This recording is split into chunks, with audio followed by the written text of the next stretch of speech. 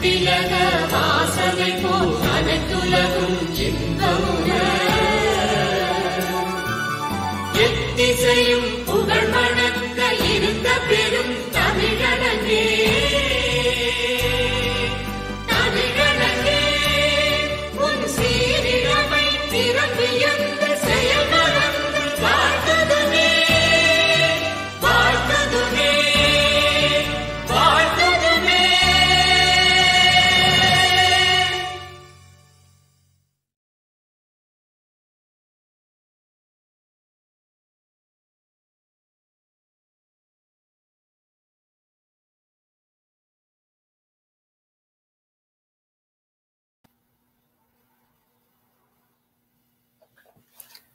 வணக்கம்.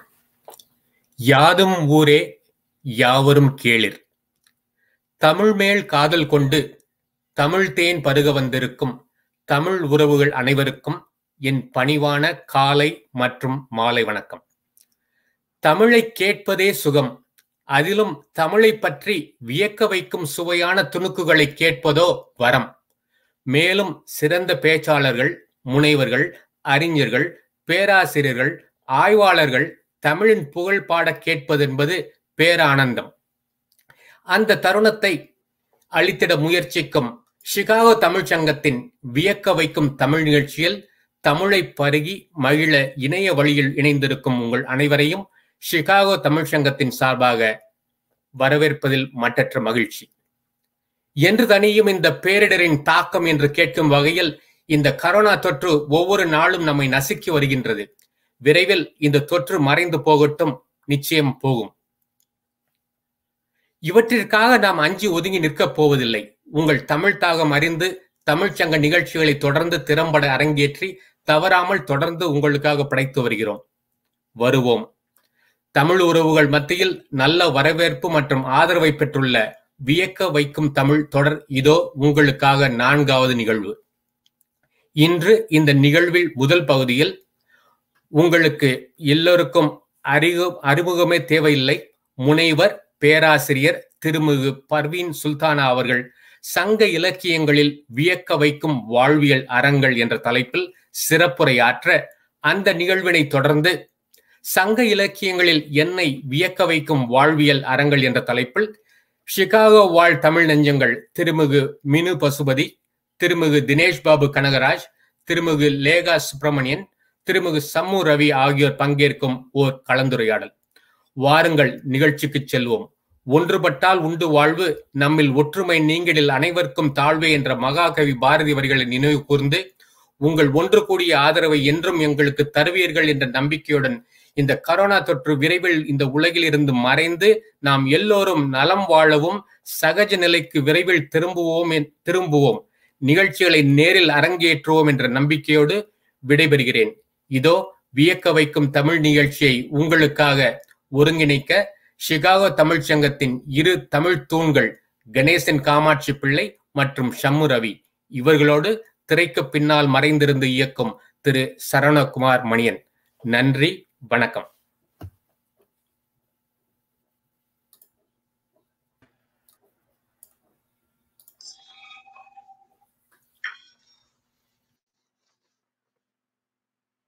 தமிழ் என்னும் மணிவிளக்கேற்றடா நாட்டில் தமிழரின் நெஞ்சமாம் அழகான வீட்டில்.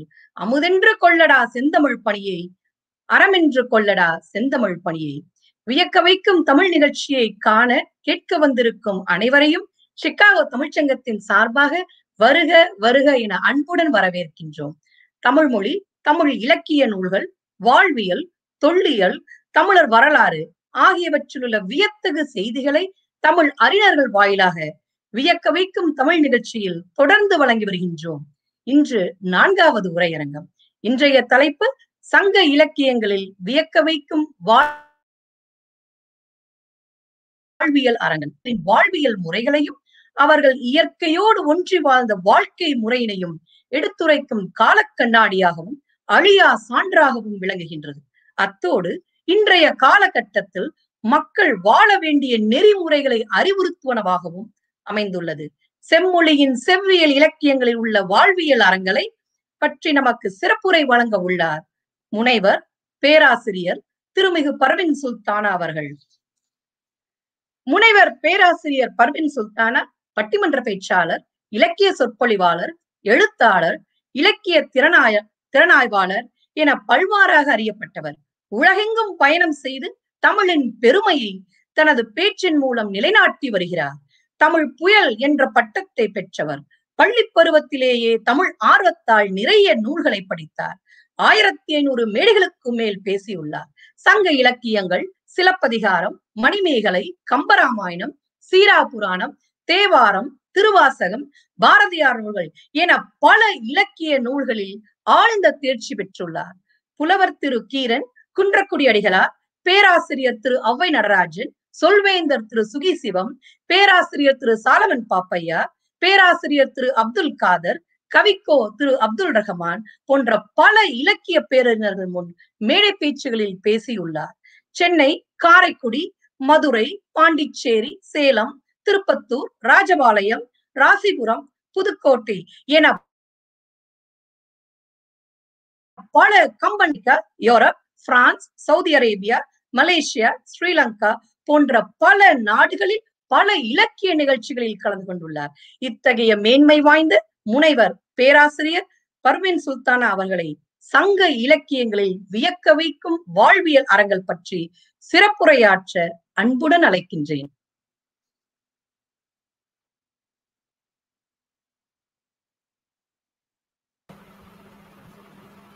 அம்மா வணக்கம். அனைவருக்கும் வணக்கம். சிகாகோ தமிழ்ச்சங்கம் பழந்தமிழ் மாண்புகளை மரபுகளை முன்னெடுத்து வியக்க வைக்கும் தமிழ் என்கின்ற பொருண்மையில் பல்வேறு நிகழ்ச்சிகளை தொடர்ச்சியாக நடத்தி வருவதை அறிந்து மகிழ்ச்சியும் பெருமையும் அடைகிறேன். சிகாகோ தமிழ்ச்சங்கத்திற்கு என்னுடைய மனமார்ந்த வணக்கமும் பாராட்டுகளும் வாழ்த்துக்களும். ஒரு சமூகம் தன் மாண்புகளையும் தன்னுடைய வாழ்வியல் முறைகளையும் பண்பாடுகளையும் அடுத்த தலைமுறைக்கு கடத்தி செல்வதன் மூலமாகத்தான் அது நிலைத்த புகழை பெறுகிறது. அந்த அடிப்படையில் பல்லாயிர ஆண்டுகளுக்கான வரலாறு கொண்ட தமிழ் இனத்தில் பிறந்த நாம் அந்த வேர்களை அடுத்த தலைமுறைக்கு எடுத்துச் செல்வதற்கான ஒரு முயற்சியாகத்தான் இத்தகைய நிகழ்ச்சிகளை நான் காண்கிறேன். வியக்க வைக்கும் தமிழ் என்கின்ற பொருண்மையில் சங்க இலக்கியத்தில் நமக்கு காண கிடைக்கின்ற வாழ்வியல் விழுமியங்களை அறங்களை குறித்து சில மணித்துளிகள் உங்களோடு சேர்ந்து சிந்திக்கலாம் என்று நான் கருதுகிறேன். நான் எப்பொழுதும் யோசிப்பது உண்டு. வரலாறு மிக மிக முக்கியம். பாரதி கூட தன்னுடைய புதிய ஆத்திச்சுடியில் மொழியை தேர்ச்சி கொள்ளவோ கணிதத்தை தேர்ச்சி கொள்ளவோ அறிவியலை தேர்ச்சி கொள்ளவோ பூகோளத்தை தேர்ச்சி கொள்ளவோ சொல்லவே இல்லை. அவர் சொன்னார் சரித்திரம் தேர்ச்சி கொள் என்று சொன்னார். முன்னோர்களினுடைய வாழ்வியல் நமக்கான வரலாறு. அந்த வரலாறை மிகச் சரியான நூல் பிடித்து அடுத்த தலைமுறைக்கு நாம் கொண்டு செலுத்தியாக வேண்டும். தமிழனுக்கு எது வரலாறு? இதோ ஆதிச்சநல்லூரை தோண்டிக் கொண்டிருக்கிறோம். கீழடியை தோண்டிக் கொண்டிருக்கிறோம். இன்னும் உலகத்தில் இருக்கக்கூடிய பல்வேறு நிலங்களை தோண்டி பார்த்தால் தமிழர்களுடைய அடையாளங்கள் கிடைக்கக்கூடும்.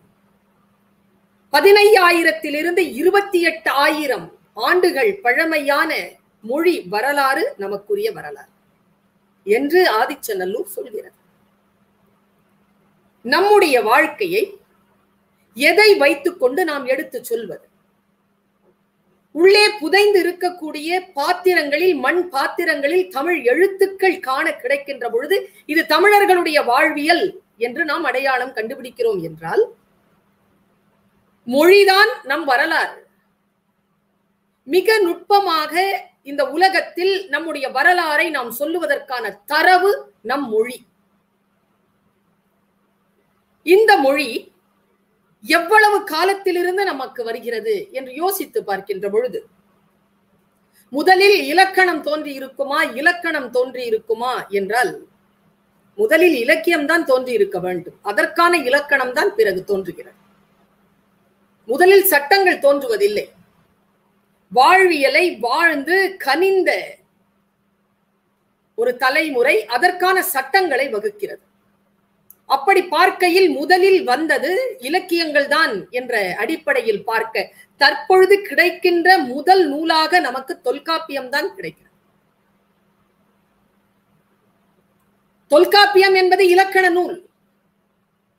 இலக்கண நூல் முதன் முதலாக நமக்கு பல்லாயிரம் ஆண்டுகளுக்கான ஒரு தரவாக அதற்கு முன் நாம் வாழ்ந்த தரவாக முழுமையாக நமக்கு கிடைக்கிறது. அப்படி என்றால் தொல்காப்பியத்திற்கு முன்னால் பல்வேறு இலக்கியங்கள் தோன்றி இருக்க வேண்டும். தொல்காப்பியத்திற்கு பிறகு நமக்கு கிடைக்கக்கூடிய முதல் இலக்கியங்களாக சங்க இலக்கியங்கள் திகழ்கின்றன.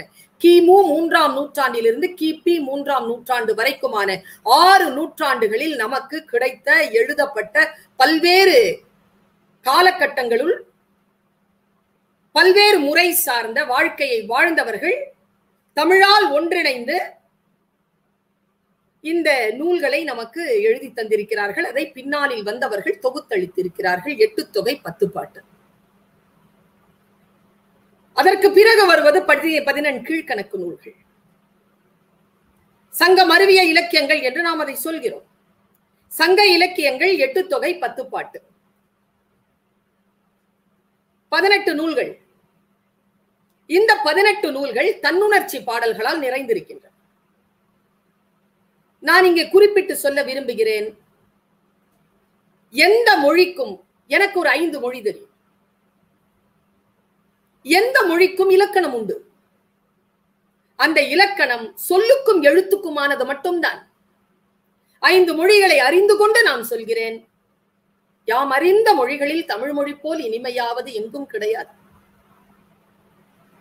இனிமை என்று நான் சொல்லுவது எது என்றால் வெறும் ரசனை மட்டும் அல்ல எழுத்திற்கும் சொல்லுக்கும் இலக்கணம் வகுத்தவர்கள் அந்த மொழி பேசுகின்ற மக்களின் வாழ்வியலுக்கும் இலக்கணம் வகுத்தார்கள். அதுதான் அந்த மொழியின் மேன்மை. சொல்லுக்கும் இலக்கணத்திற்கு தொடர்புண்டு. எழுத்துக்கும் இலக்கணத்திற்கும் தொடர்புண்டு. வாழ்க்கைக்கும் இலக்கணத்திற்கும் தொடர்புண்டா உண்டு என்று சொல்கிறது தமிழ் சமூகம் தமிழ் மரபு. வாழ்க்கை இரண்டு வகைதான். சொல்லுவாங்க இல்லையா? உண்பது நாழி உடுப்பது இரண்டு உறைவிடம் என்பது ஒன்று. அவ்வளவுதான். முடிஞ்சது வாழ்க்கை அதுக்குள்ள. இது தமிழ் சொல்கிறது. தமிழ் இரண்டு வகையாக வாழ்க்கையை பிரிக்கிறது. ஒன்று அகம் மற்றொன்று புறம். அகம் புறம் என்கின்ற இரண்டு முறைமைகளுக்குள் மக்களினுடைய வாழ்க்கை அடங்கி போகிறது. தமிழன் வகுத்த இலக்கணம் இருக்கிறது. அது தமிழ் இனத்திற்கு மட்டுமான இலக்கணம் அல்ல. அகில உலகத்தில் வாழக்கூடிய ஒவ்வொரு நாகரீகம் கருதுகின்ற மனிதனுக்குமான இலக்கணம். அக இலக்கணம் புற இலக்கணம். ரெண்டு இலக்க இலக்கணம். ரெண்டே ரெண்டு தான். இந்த இலக்கணம் வாழ்வியலுக்கான இலக்கணம். ஒரு மனிதனுடைய சமூகம் தொடர்பான அவனுடைய கொடை அவனுடைய வீரம் அவனுடைய கல்வி அவனுடைய புரிதல்கள் எல்லாம் புறம் சார் ஒரு ஆணுக்கும் பெண்ணுக்கும் இடையில் நிகழக்கூடிய அந்த உணர்வுகள் அடுத்த தலைமுறையை நாகரிகமாக உருவாக்கக்கூடிய அந்த கட்டமைப்பு அகம் சார் இந்த அகத்திற்கு இலக்கணம் வகுத்தார்கள் பாருங்க. அகம் என்று ஒரு இலக்கணத்தை பிரிப்பது வேறு ஆனால் அந்த அகத்திற்குள்ளாக இலக்கணத்தை வகுத்தார்கள் புறத்திற்குள்ளாக இலக்கணத்தை வகுத்தார்கள். இப்படித்தான் வாழ வேண்டும் எப்படியும் வாழலாம் என்று கிடையாது. நான் ரொம்ப யோசிச்சு பார்த்தேன். ஏழு இலக்கணம் இதுக்கு புறத்துக்கு. அகத்திற்கும் ஏழு இலக்கணம் தான். ஏழு பிரிவு தான். குறிஞ்சி முல்லை மருதம் நெய்தல் பாலை. கைக்கிளை பெருந்திணை. ஏழு.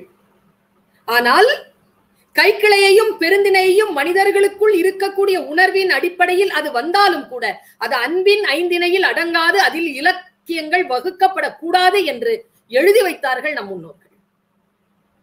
கைக்கிளையிலும் பெருந்திணையிலும் நீங்கள் இலக்கியத்தை எழுதினால் அது அன்பின் ஐந்து இலக்கணத்திற்குள் அக இலக்கணத்திற்குள் பொருந்தாது. மனிதர்களுடைய ஆக பெரிய உச்சம் என்ன தெரியுமா? வாழ்வியல் அறங்களை பற்றி நாம் பேசிக் கொண்டிருக்கிறோம். சங்க இலக்கியம் தருகின்ற மிக முக்கியமான அறம் இன்றைய சமூகம் இன்றைய தலைமுறை இன்றைய ஊடகங்கள் தெரிந்து கொள்ள வேண்டிய அடிப்படையான ஒரு மாண்பு மனித மாண்பு என்பது அக இலக்கியத்தை பொறுத்த அளவில் சுட்டி ஒருவர் பெயர் பெறார்.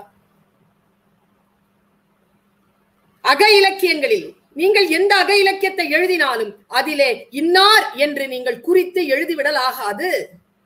புற இலக்கியங்களை நீங்கள் எழுதலாம். இது இந்த மன்னனுக்காக பாடப்பட்டது செல்வ கடுங்கோ வாழியாதனுக்காக பாடப்பட்டது என்று சொல்லலாம். ஆனால் அக இலக்கியங்களை எழுதுகின்ற பொழுது நீங்கள் இந்த மன்னனுக்காகவோ இந்த மனிதனுக்காகவோ என்று பெயர் சுட்டப்பெற்றால் அந்த மனிதனுடைய தனிப்பட்ட வாழ்க்கை மற்றவர்களுக்கான எட்டி பார்க்கக்கூடிய ஜன்னலாக அமைந்துவிடும். அது மனித இனத்திற்கு புறம்பானது என்பதனால் மனிதர்களுடைய அக இலக்கணத்தை இலக்கியத்தை எழுதுகின்ற பொழுது அவர்களுடைய பெயரை குறிப்பிடக்கூடாது என்கின்ற சட்டத்தை கொடுத்திருக்கக்கூடிய மாண்பு தமிழருடைய வேம்புதலை யாத்த நோன்காள் எகம் என்கின்ற ஒற்றை சொல் வந்ததனால் நெடுநல் வாடை என்கின்ற பேரிலக்கியம். அந்த பேரிலக்கியம் முன்னூத்தி எட்டு வரின்னு நினைக்கிறேன். முன்னூறு தாண்டுது. இருநூத்தி எண்பத்தி ரெண்டாவது வரியில வருது இந்த சொல். வேம்புதலை யாத்த நோன்காள் எக்கம் என்ற ஒரு சொல் வந்ததனால் தூக்கி போட்டாங்க நெடுநல் வாடையை. அக இலக்கியத்துல இருந்து தூக்கி புற இலக்கியத்துக்கு போட்டான் அது அழக இலக்கியத்திற்குள் வராது. இந்த இந்த நாம் ஆடை உடுத்துவது போல் தாய்க்கும் தந்தைக்குமான அந்த உறவை மிக புனிதமான நிலையில் வைத்து எண்ணி அதை பெருமைப்படுத்துவது போல் இலக்கியங்களில் இருக்கக்கூடிய அக விஷயங்கள் அகச் செய்திகள் மிக மிக நாகரிகமான நிலையில் பேணி பாதுகாக்கப்பட்டதுதான் தமிழ் இலக்கியத்தின் மாண்பு. இந்த உலகம் எப்படி இருக்கிறது? இன்றைக்கு நீ எந்த ஜாதி நான் எந்த ஜாதி என்று பேசிக் கொண்டிருக்கிறோம் ஆணுக்கும் பெண்ணுக்குமான வித்தியாசத்தினே பெண்களுக்கு எதிரான வன்கொடுமைகள் மிகுந்து கொண்டிருக்கின்றன. சங்க இலக்கியங்கள் படிக்கின்ற பொழுது நம்முடைய குழந்தைகளுக்கு நாம் இலக்கியங்களை பாடமுறையில் கொடுக்காமல் வாழ்வியல் முறையில் கற்றுக் கொடுக்க வேண்டும் என்பது என்னுடைய பெரும் விருப்பம்.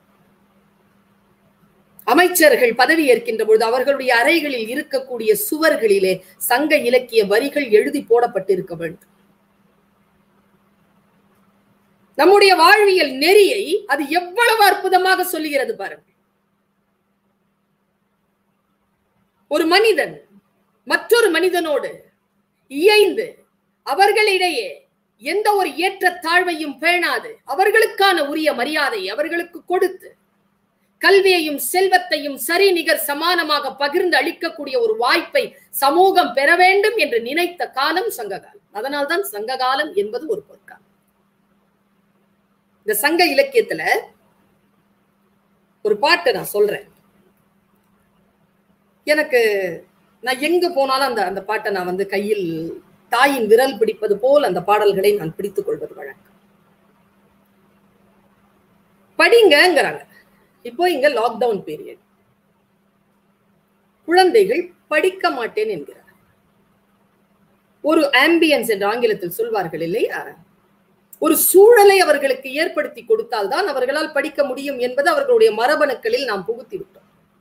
இப்பொழுது அந்த சூழல் உடைப்பட்டு இருக்கிறது. உடைப்பட்டிருக்கக்கூடிய அந்த சூழ்நிலையில் அந்த குழந்தையை படிக்க மாட்டேன் என்கிறார். தேர்வுகள் தள்ளி போகின்றன. தேர்வுகளினுடைய முறைமைகள் மாறிக்கொண்டிருக்கின்றன.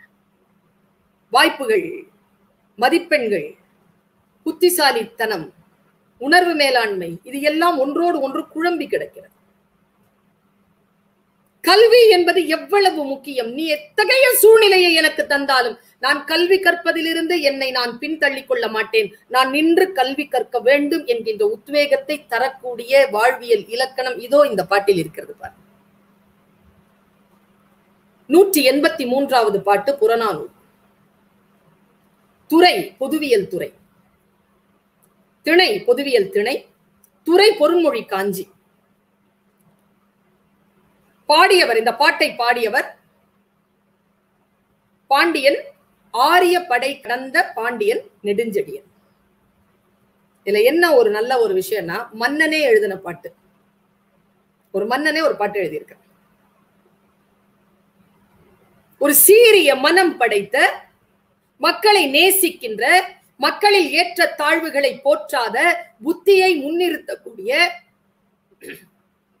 அறிவை முன்னிறுத்தக்கூடிய சிந்தனை சங்க இலக்கியம் தருகிறது. உற்றுழி உதவியும் உரு பொருள் கொடுத்தும் பிற்றை நிலை முனியாது கற்றன் நன்றே.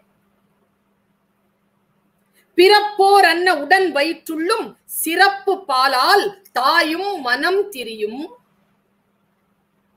ஒரு குடி பிறந்த பல்லோருள்ளும் மூத்தோன் வருக என ஒன்னா.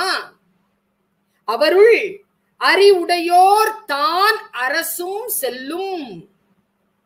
வேற்றுமை தெரிந்த நாற்பால் உள்ளும் கீழ்ப்பால் ஒருவன் கற்பின் மேல்பால் ஒருவன் அவன் கண் படுமே. இது பாட்டுங்க. சில சில பயிற்சிகள் இருந்தால் நமக்கு எந்த உரையும் தேவை கிடையாது. தொடர்ந்த வாசிப்பு பயிற்சி இருக்கின்றவர்களுக்கு தமிழ் கைவரும். சில கடுமையான சொற்களுக்கு கடினமான சொற்களுக்கு மட்டும் நாம் அகராதியை பார்த்துக்கொள்ளும் உற்றுழி உதவியும் துன்பப்படுகின்ற பொழுது உதவி செய்தும் யாருக்கு? நமக்கு கல்வி தருகின்ற ஆசிரியருக்கு. கல்வி தருகின்ற ஆசிரியர் துன்பப்படுகின்ற பொழுது அவர்களுக்கு உதவியும் உற்றுழி உதவியும் உரு பொருள் கொடுத்தும். நீ துன்பப்பட்டு சம்பாதித்த பணத்தை அவர்களுக்கு கொடுத்தும். இவர்களுக்கு ஆசு இரியர்களுக்கு கொடுத்தும். ஆசனா குற்றம் எரிதல்னா களைதல். குற்றங்களை களைபவர்கள் ஆசிரியர். உற்றுழி உதவியும் உரு பொருள் கொடுத்தும். கொடுத்துட்டு இவன் கிட்ட இருந்து கடிது ப- படிச்ச படிப்பால எனக்கு என்ன பிரயோஜனம் இது வரைக்கும் நடந்தது? அல்லது நடக்க போகுது? என்று பின்னால் நடக்க போவதை பற்றி கோபப்படாமல் கற்பது நன்று. ஆமா இதை கத்துக்கிட்டு நான் என்ன பண்ண போறேன்? சாக்கரட்டிஸ் சாகும் பொழுது மௌத்தார்கன் வாசிக்கிறதுக்கு கத்துக்கொடுன்னு சொன்னான். தன்னுடைய பக்கத்து சுவர்ல வந்து அந்த அந்த பாடலை கேட்டிருக்கான். அந்த கைதி கிட்ட கேட்கிறாரு சாக்ரட்டிஸ் கைதி சொல்றான் சாக்ரட்டிஸ் இன்னும் நீ இரண்டு நாளில் இறந்து விட போகிறாய். இதை இதை கற்றுக்கொண்டு என்ன செய்ய போகிறாய்? சாக்ரட்டிஸ் தந்த பதிலை நான் சொல்லுகிறேன். பிற்றை நிலை முனியாது கற்பது நன்று. என்ன அப்படி சொல்லிவிட்டாய் நண்பனே? சாக்ரட்டிஸ் நான் சாகும்போது எனக்கு மௌத்தார்கன் வாசிக்க தெரியும் என்ற ஒரு எண்ணம் போதாதா? அந்த எண்ணத்திற்காக நான் கற்கிறேன் என்கிறான் சாக்ரட்டிஸ் உற்றுழி உதவியும் உரு பொருள் கொடுத்தும் பிற்றை நிலை முனியாது கற்பது நன்று. பிறப்போர் அன்ன உடன் வயிற்றுள்ளும் சிறப்பின் பாலால் தாயும் மனம் தெரியும். நாலு குழந்தை அம்மாக்கு. அதுல ஒருத்த மட்டும் படிச்சிட்டான்னா படிச்சவன் பக்கம்தான் தாய்க்கு மனசு போகும். படித்தவனை விரும்புவாளாம் தாய். தாய் மனசு கூட திரிஞ்சு போகும். ஒரு குடி பிறந்த பல்லோருளும் ஒரே குடியில பிறந்தாங்க. நிறைய பேர் சேர்ந்து மன்னனை பாக்குறதுக்கு போறாங்க. அப்போ பெரியவர் யாரோ அவங்க வாங்கன்னு சொல்லி கூப்பிட மாட்டாரா மன்னன்? மன்னன் எங்க போவான்? அறிவுடையோன் பால் தான் அரசும் செல்லும். யார் இங்க படிச்சமா அவன் முன்னால வாழ்வான் அதை விட பெருசா சொன்னார். இந்த வர்ணாசிரமம் வர்ணாசிரமம் சொல்லிட்டு இந்த வேத மரபுல வந்தவர்கள் ஆரியர்கள் புகுத்திய இந்த இந்த அந்த படிக்கட்டுகள் இருக்குல்ல? வேற்றுமை தெரிந்த நாள் பால். அந்த அண்ணன் சத்திரியன் வைசியன் சூத்திரன் சொல்றேன் நாலு பால். இந்த நாலு பால்ல கீழே எவன் இருக்கிறானோ கீழேன்னு அவன் சொல்றான்ல அந்த ஆளு. நாமெல்லாம். படிச்சுட்டோம்னு வச்சுக்கோங்க. வேற்றுமை தெரிந்த நால் பால் உள்ளும் கீழ்பால் ஒருவன் கற்பின். கீழே இருக்கிறான்ல அவன் படிச்சுட்டான்னா மேல் பால் ஒருவன் அவன் கண் படுமே. மேல இருக்கிறவன் அவன் சொல்ல கேட்க வேண்டி வரும்டான்றான். இதுதான் வாழ்வியல். படிச்சிரு. கல்வியை கையில் வைத்துக்கொள். இப்படி சொல்லுகிறார் ஆரியப்படை கடந்த பாண்டியன் நெடுஞ்செழி. ஆரியப்படை கடந்த பாண்டியன் நெடுஞ்செழியன் என்று தன்னுடைய பெயருக்கு முன்னால் ஒரு அடைமொழி இருக்கிறது என்றால் அந்த அடைமொழியில் அவர் வாழ்ந்த காலத்தில் அவர் வேற்றுமையை நகர்த்துவதில் தகர்த்துவதில் எவ்வளவு முனைப்பு காட்டியிருக்க வேண்டும் இந்த பாட்டு நமக்கு தருவதற்கு. இரண்டாயிரம் வருடங்களுக்கு முன்னால் வந்திருக்கக்கூடிய பாட்டு மேல்பால் ஒருவன் அவன் கண்படும் எல்லாருக்கும் ரொம்ப பிடித்தமான பாட்டு. தமிழ் சமூகம் இருக்கிறதே அது ஞான வழிபடுகின்ற சமூகம். அது இயற்கை வழிபட்ட சமூகம். செயற்கையானவர்கள் இல்லை நமக்கு தெரியாது. செயற்கை நமக்கு தெரியாது. நம் இயற்கையோடு ஒன்றிணைந்தவர்கள். பொங்கல் தான் நமக்கு. சூரியனுக்கு தான் நாம் நன்றி செலுத்துவோம். எந்த அறுவடையை வைத்துக்கொண்டு அந்த அறுவடை தந்த அந்த சூரியனுக்கு நன்றி செலுத்தும். அந்த அறுவடைக்கான நமக்கு உதவி செய்த மாட்டிற்கு நன்றி செலுத்தும். நன்றி செலுத்துகின்ற சமூகம் நம் சமூகம். தாயையும் தகப்பனையும் கனம் செய்யக்கூடிய சமூகம் நம் சமூகம். பெண்ணை மரியாதை செய்யக்கூடிய சமூகம். வீரமும் காதலும் இரண்டு கண்களாக கொண்டிருக்கக்கூடிய சமூகம். தமிழை தன் மொழியாக மட்டுமல்ல தம்முடைய வாழ்வியல் அரம்பாக உடையாக உணவாக உறவாக ரத்தமாக உயிராக கருதக்கூடிய சமூகம் தமிழ்ச்சம். ஒரு பாட்டு இன்னொன்னு சொல்றேன். திணை பொதுவியல் திணை. துறை பொருண்மொழி காஞ்சி பாட்டு எழுதினவர் யார் தெரியுமா? கடலுள் மாய்ந்த இளம் பெருவழுதி. கடலுள் மாய்ந்த அப்படின்னாலே எனக்கு என்னமோ நம்ம கடற்படை எல்லாம் வச்சிருந்திருக்கோம்னு அர்த்தம். ரொம்ப பெரிய ஒரு சமூகமா இருந்திருக்கும் நம்ம சமூகம். பின்னாளில் அடிமைப்பட்டு கிடக்கிறோம் பாரதி சொல்வார் இல்லையா பெண்ணிற்குள் ஞானத்தை வைத்தான் புவி பேணி வளர்த்திடும் ஈசன் மண்ணிற்குள் சில மூடர் நல் மாதர் அறிவை கெடுத்தார்மா. பின்னாளில் வந்த சோகம் இதெல்லாம். பின்னாளில் வந்த சோகம் தான். நாம் மிக மிக உயர்ந்த வாழ்வியல் அறங்களுக்கு உரியவர்கள். இந்த பாட்டெல்லாம் சாதாரணமா கைத்தட்டல் வாங்குறதுக்காக எழுதிட்டு போன பாட்டு இல்ல. இன்னொரு விஷயம் சொல்லிக் கொள்கிறேன். ஒரே காலகட்டத்தவர்கள் இல்லை இந்த இவர்கள் எல்லாம் இந்த நானூறு வருஷம் இருக்குல்ல? இந்த நானூறு வருஷத்துல அறுநூறு வருஷத்துல நானூறு பேரு அறுநூறு வருஷத்துல அவ்வளோ மேல கீழே வாழ்ந்தவங்க எல்லாருமே தொகுத்த பாட்டு. அமேசிங் ஃபேக்டர்னு சொல்லுவோம் ஆங்கிலத்துல. ரொம்ப ஆச்சரியப்படக்கூடிய ஒரு ஒரு ஒரு விஷயம் இது. இந்த பாட்டு பாருங்க. இளம்பெருவழுதி எழுதுகிறார் உண்டாலம்மை உலகம்.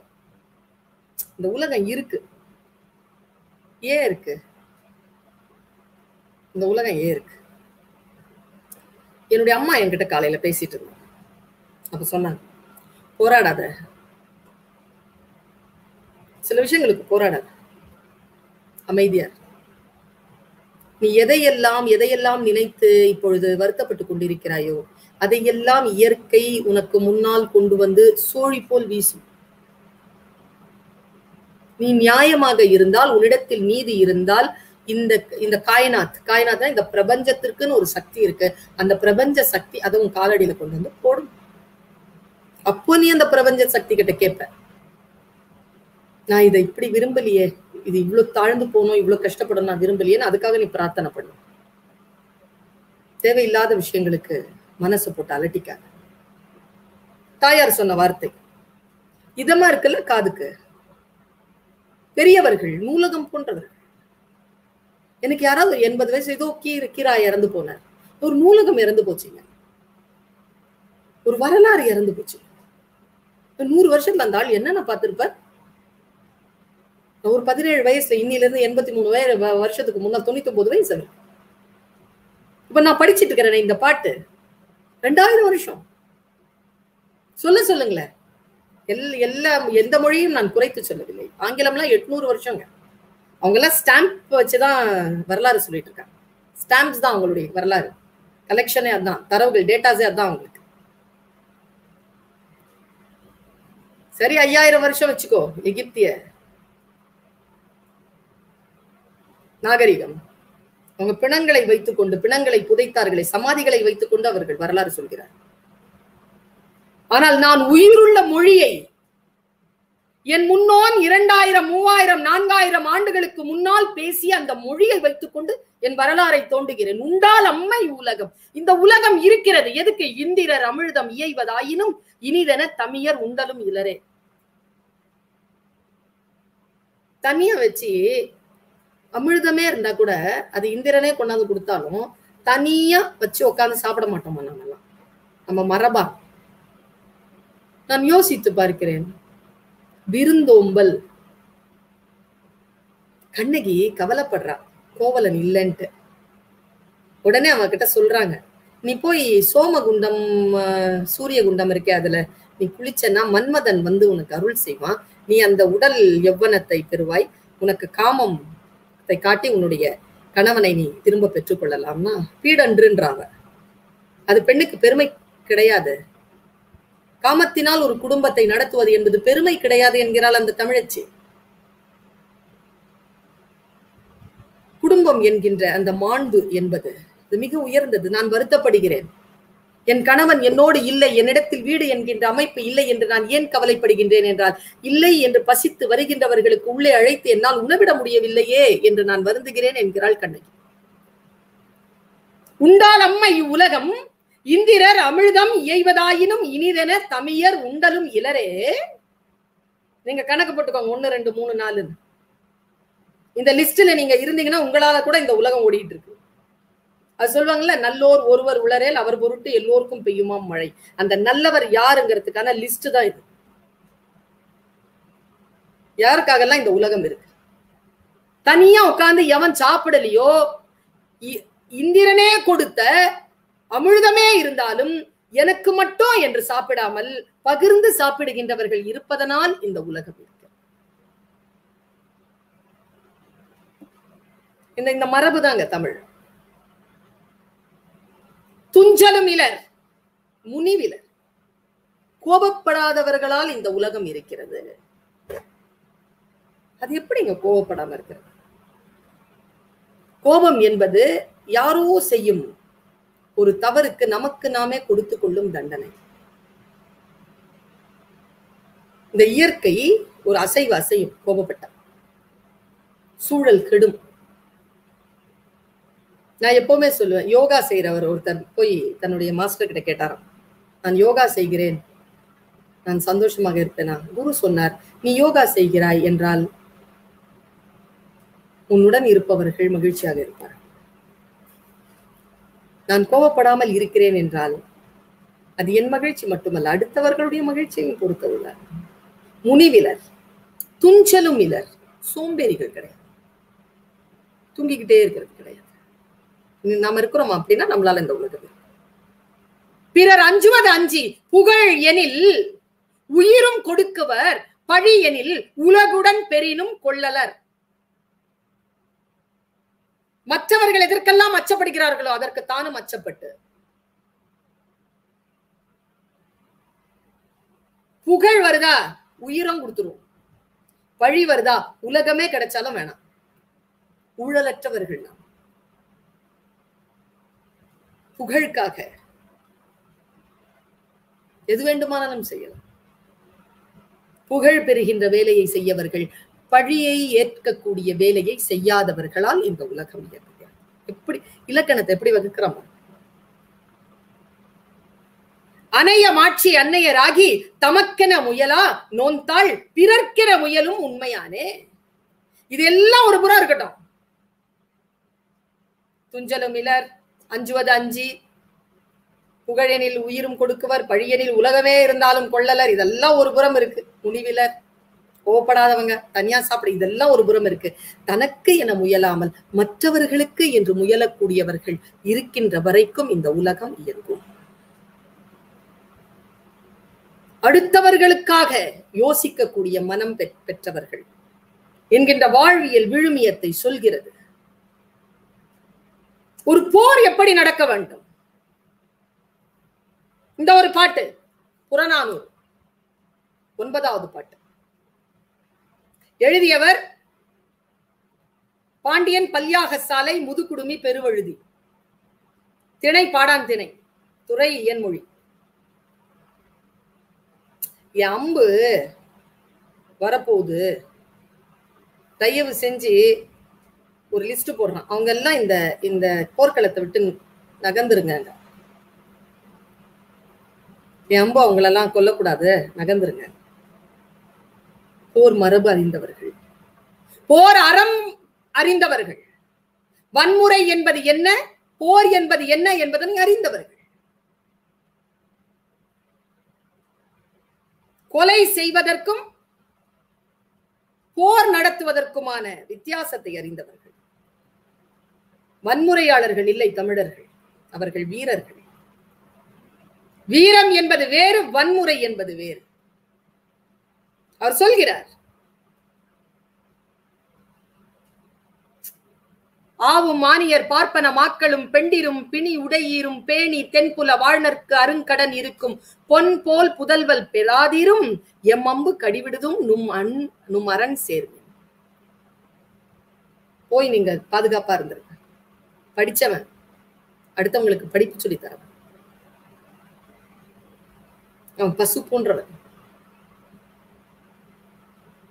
பசு மிருகங்கள் பெண்கள் நோயுற்றவர்கள் இளமையாக இருந்து திருமணம் செய்து கொண்டு இன்னும் குழந்தை பெறாதவர்கள்.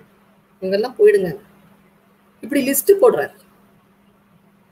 எனக்கு இந்த பாட்டுல ரொம்ப பிடிச்சது என்னன்னா தமிழை நான் ரசிப்பவள் இல்லையா? நம்ம வாழ்த்துறோம் ஒருத்தங்களை. எப்படி வாழ்த்துறோம் சொல்லுங்க? இவ்வளவு நாள் நீ வாழணும் அப்படிங்கிறாங்க. எவ்வளவு நாள் வாழறது? அதுக்கு நம்ம ஒரு கணக்கு வச்சிருக்கோம் தெரியுமா? என்ன கணக்கு? நூறு வருஷம் வாழுங்க ஏன் நூத்தி ஓராவது வருஷம் அவன் வாழ்ந்தா நீ செத்துருவியா? அவன் நூறு வருஷத்துக்கு மேல வாழக்கூடாதா? என்ன கணக்கு அது? இந்த பதிப்பாளர்களுடைய வைத்தறிச்சல் என்ன தெரியுமா? ஆயிரம் புக்கு தான் அவங்க பிரிண்ட் பண்ணலாம். ஒரு பதிப்புக்கு. பன்னெண்டு கோடி மக்கள் இருக்கிறோம் உலகத்துல. ஆயிரம் புக்கு போதுமா? அந்த புத்தகத்துக்கும் அவங்க லைப்ரரியில ஒரு சட்டம் வச்சிருக்கிறாங்க. அதுக்கு தகுந்த மாதிரி தான். இந்த இந்த இந்த இந்த புத்தகத்துக்குன்னு ஒரு ஒண்ணு இருக்குதுன்னா இவ்வளவுதான் சைஸ் வேற மாதிரி நீங்க சைஸ் போட்டீங்கன்னா அதுக்கு அடுக்கிறதுக்கு உங்களுக்கு லைப்ரரி ஆர்டர் கிடைக்காது வா- நமக்கு நம்ம எல்லாருமே வந்து சுருங்கிட்டோம். எனக்கு வந்து எண்ணிக்கையில சுருங்கி போகணும் நான். கோடி கோடிக்கு அப்புறம் எழுத்து இல்லையா? இருக்கு. எட்டானல்னு சொல்றோம்ல கடைசியா போய் அது முடிவில்லாதது. அது வரைக்கும் இருக்கு தமிழ் சொற்கள். தமிழ் ரொம்ப விரிந்ததுங்க. நான் தமிழச்சியா இருக்கிறேன் தமிழை படித்திருக்கிறேன். அது அந்த ஒரு கர்வத்தில் அந்த ஒரு இதுல நான் பேசல. புத்தியால் பேசுகிறேன். மிக உயர்ந்தது தமிழ். எப்படி வாழ்த்துறாரு பாருங்க. ஒரு ஒருத்தன் எவ்வளவு நாள் வாழலாம்? அந்த நாள் கணக்கை எப்படி சொல்றாரு பாருங்களேன். செந்நீர் அதான் என் என் என்னுடைய க- என்னுடைய மன்னன் என் கோ வாழிய செந்நீர் பசும் பொன் வயிறியர்க்கு ஈத்த. அதாவது பசுமையான பொன்னை அள்ளி அள்ளி இந்த ஒண்ணும் இல்லாதவங்களுக்கு துன்பப்படுகின்றவர்கள் கொடுக்கிறானே என் மன்னன். அவன் எவ்வளவு நாள் வாழணும் தெரியுமா? முன்னீர் விழவின் நெடியோன் நன்னீர் பகுருளி மணலினும் பர பலது. பகுருளி ஆறு போடுதுல்ல? அந்த ஆறுக்கு பக்கத்துல மணல் இருக்கு. அந்த மணலை எண்ணி நீ பார்த்தனா எவ்வளவு இருக்கும்? என்ன முடியுமா முதல்ல? பகுருளி ஆற்றின் மணலை எண்ண முடியுமா? பகலு பகுருளி ஆற்றின் மணலை விட பலவாறாக என் மன்னனே நீ வாழ்க்கன்னு வாழ்த்துறார்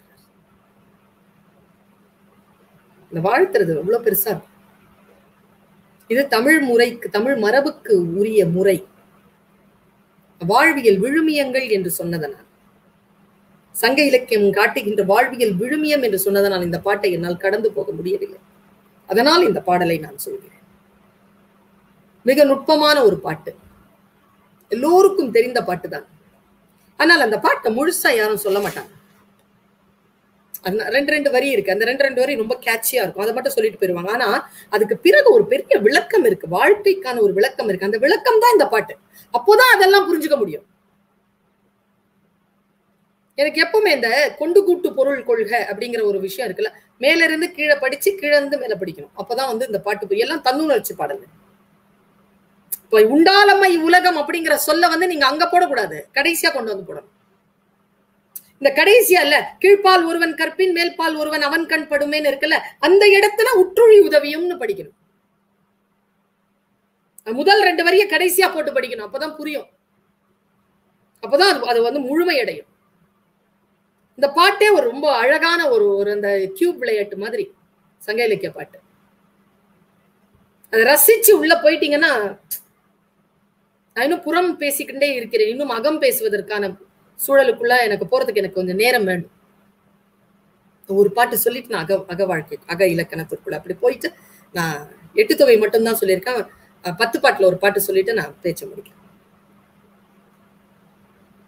யாதும் ஊரே யாவரும் கேளீர். நம்ம கேள்விப்பட்டிருக்கோம் அந்த பாட்டு. எல்லாருக்கும் தெரிஞ்ச பாட்டு. கேளீர் அல்ல கேளீர். கேளீர்னா உறவு. எல்லாமே ஊர ஊரு தான் எல்லாமே நம்ம உறவு தான் இப்போ நான் இங்க உட்காந்துருக்கேன் இங்க ராயப்பேட்டால மீர் சாஹிப்பேட்டையில திப்பு தெருவில் நான் உட்காந்து பேசிட்டு இருக்கேன். இது சென்னை தமிழ்நாடு இந்தியா. நீங்க அங்க இருக்கிறீங்க. இல்லினாய் சிகாகோ அமெரிக்கா அந்த பக்கம் இருக்கு. இந்த பக்கம் போனீங்கன்னா ஹாங்காங் அது அந்த மற்ற விஷயம். Australia Malaysia Singapore. அந்த பக்கம் கொஞ்சம் மேலே போனீங்களா? ரஷ்யா. எல்லாமே. இந்த டைம்ல எல்லாரும் என்ன பண்ணிட்டு இருப்பாங்க? இந்த மாதிரி ஒன்று பேசிட்டு இருப்பாங்க படிச்சுட்டு இருப்பாங்க தூங்கிட்டு இருப்பாங்க வாழ்க்கை வாழ்ந்துட்டு இருப்பாங்க இல்லையா? பிறப்புக்கும் எல்லா உயிருக்கும். சிறப்பவும் செய்தொழில் வேற்றுமையான அவ்வளவுதான். சாதாரணமா சொல்லிட்டு போறாங்க பாருங்க தமிழ். யாதும் உரை யாவரும் கேளீர். எல்லாமே உறவு தான் எல்லாமே நம்ம ஊரு தான் இப்படி சொல்றதுக்கே எவ்வளவு பெரிய மனசு வேணுங்கிற நான். சொல்றதுக்கே மனசு வேணும். நீங்க எந்த ஏரியா? ஓ நீங்க அந்த ஏரியாவா? ஓகே ஓகே அங்கெல்லாம் அவங்கெல்லாம் நிறைய இருப்பாங்கல்ல இந்த ஏரியா இவங்க வந்து வேற இவங்க வேற. இப்படி பிரிச்சு பேசுறவங்க மத்தியில. நோக்க நோக்க களியாட்டம் வரல பாரதியார். காக்கை குருவி எங்கள் ஜாதி நீள் கடலும் மலையும் எங்கள் கூட்டம் நோக்கும் திசையெல்லாம் நாம் அன்றி வேறு இல்லை நோக்க நோக்க களியாட்டம் வானில் பறக்கும் புள்ளெல்லாம் நான் வரல. இந்த விரிஞ்சு போது பாருங்க அந்த சிந்தனைக்கான விதை.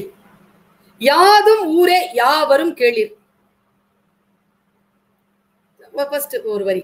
அது எல்லாருக்கும் பிடிச்சமான புரிஞ்ச வரி. ரெண்டாவது வரியும் ரொம்ப பிடிச்சமான வரி. தீதும் நன்றும் பிறதர வர. அம்மா அப்பாவும் டீச்சரும் கரெக்டா ஃபெயிலா போன தப்பு செய்யற பிள்ளைகளுக்கு எதிராக அல்லது தப்பு செய்து மன வருத்தத்தோட நிக்கிறவங்களுக்கு முன்னால ஜட்மெண்டலா சொல்ற வார்த்தை தீதும் நன்றும் பிறர் தர முன்னாலதான் வந்திருக்கும். அது ரொம்ப நல்ல வார்த்தை. உண்மை. அடுத்த வார்த்தை நம்ம சொல்றது இல்ல. நோதலும் தனிதலும் அவற்றோர் அன்ன. நோய் வந்துச்சா?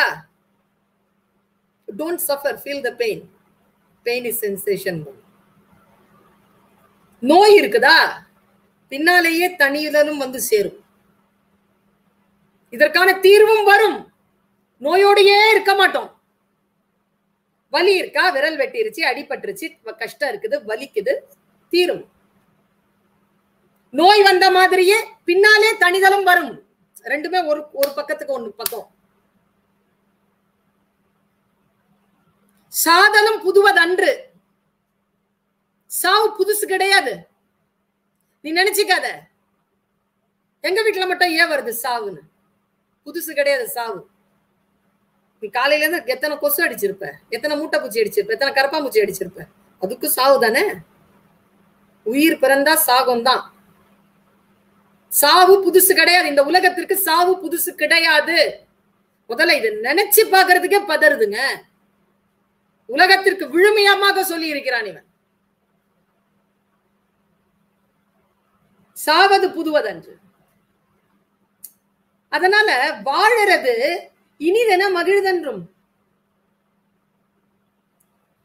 ரொம்ப சந்தோஷப்படாத சாவெல்லாம் புதுசு கிடையாதுங்கிறதுனால எல்லாம் வாழ்க்கை ரொம்ப சந்தோஷமானதெல்லாம் கிடையாது.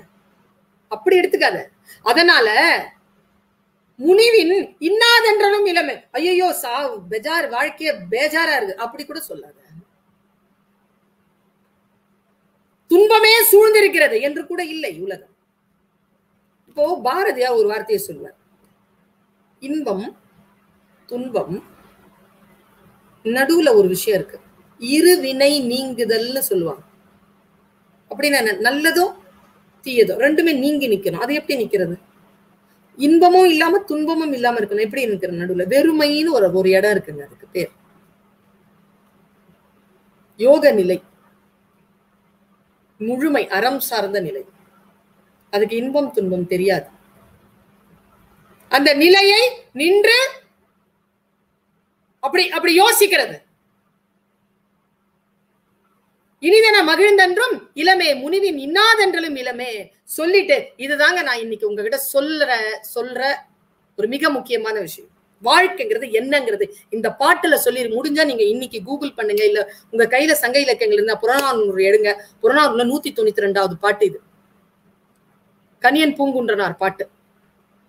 பொருண்மொழி காஞ்சி திணை பொ- பொதுவியல் துறை பொருண்மொழி காஞ்சி. இவ்வளவுதாங்க வாழ்க்கை. எப்படி சொல்றாரு பாருங்க. மின்னோடு மின்னல் அடிக்குது. காட்சிப்படுத்துங்க. மின்னோடு வானம் தண்டுளி தலையினாது கல் பொருது இறங்கும் அல்லல் பேர் ஆறு.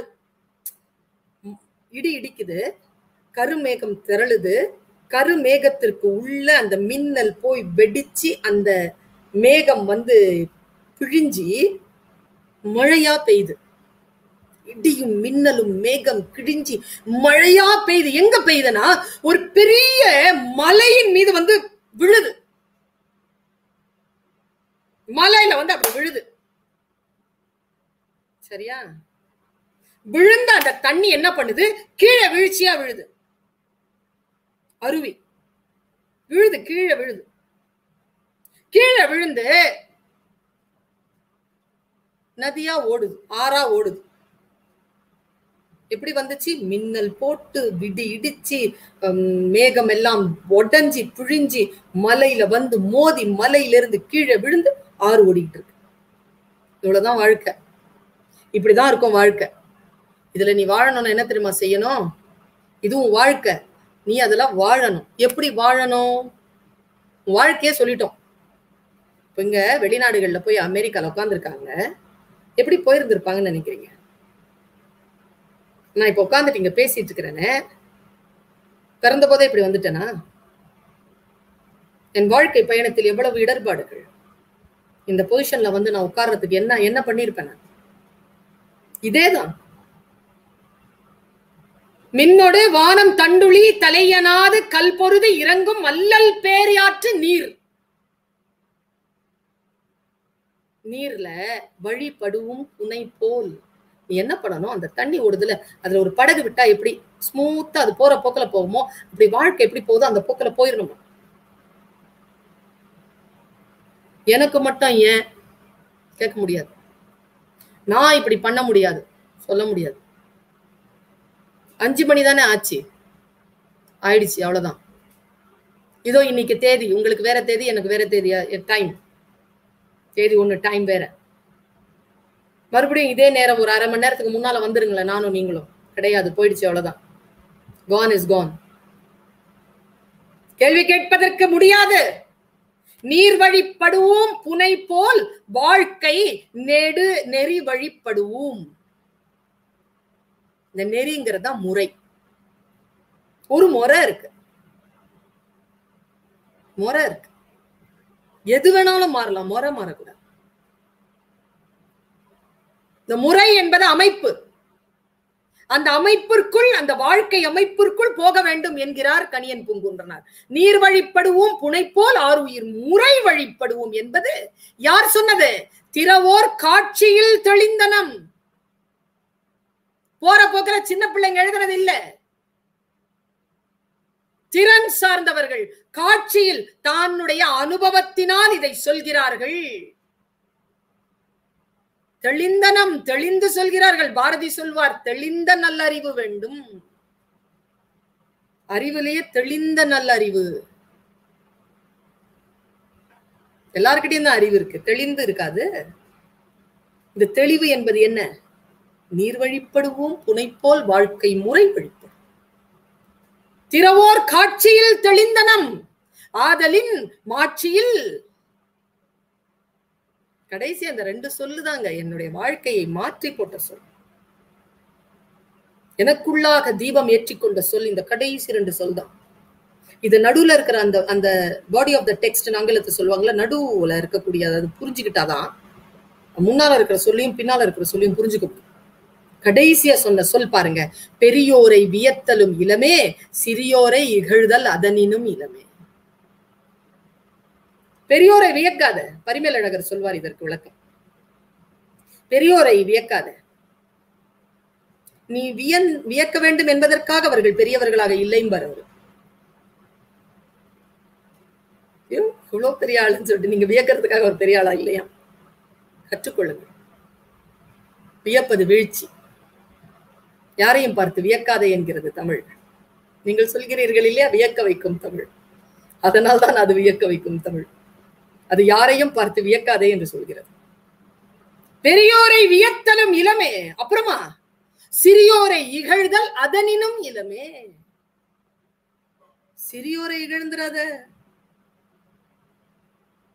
நான் என்ன சின்ன பிள்ளையா இருக்கும்போது அஞ்சாவது வயசுல இருக்கும் பொழுது என் பக்கத்துல உட்கார்ந்துட்டு இருந்தா. மஞ்சுன்னு பேர் அவள் அந்த குழந்தைக்கு. அவ சொன்னது எனக்கு இன்னைக்கும் ஞாபகம் ஏன்னா எங்க அப்பா அடிச்சிட்டார். சரி. இந்த கை சின்னதா இருக்குன்றதுனால என்னால அடிக்க முடியலன்னு அது. திருப்பி அடிக்க முடியலையா? அவ கை ரொம்ப சின்னதா. எனக்கு ரொம்ப காலமா புரியல அந்த சொல் என்னன்னு. சிறியோரை இகழ்தல்.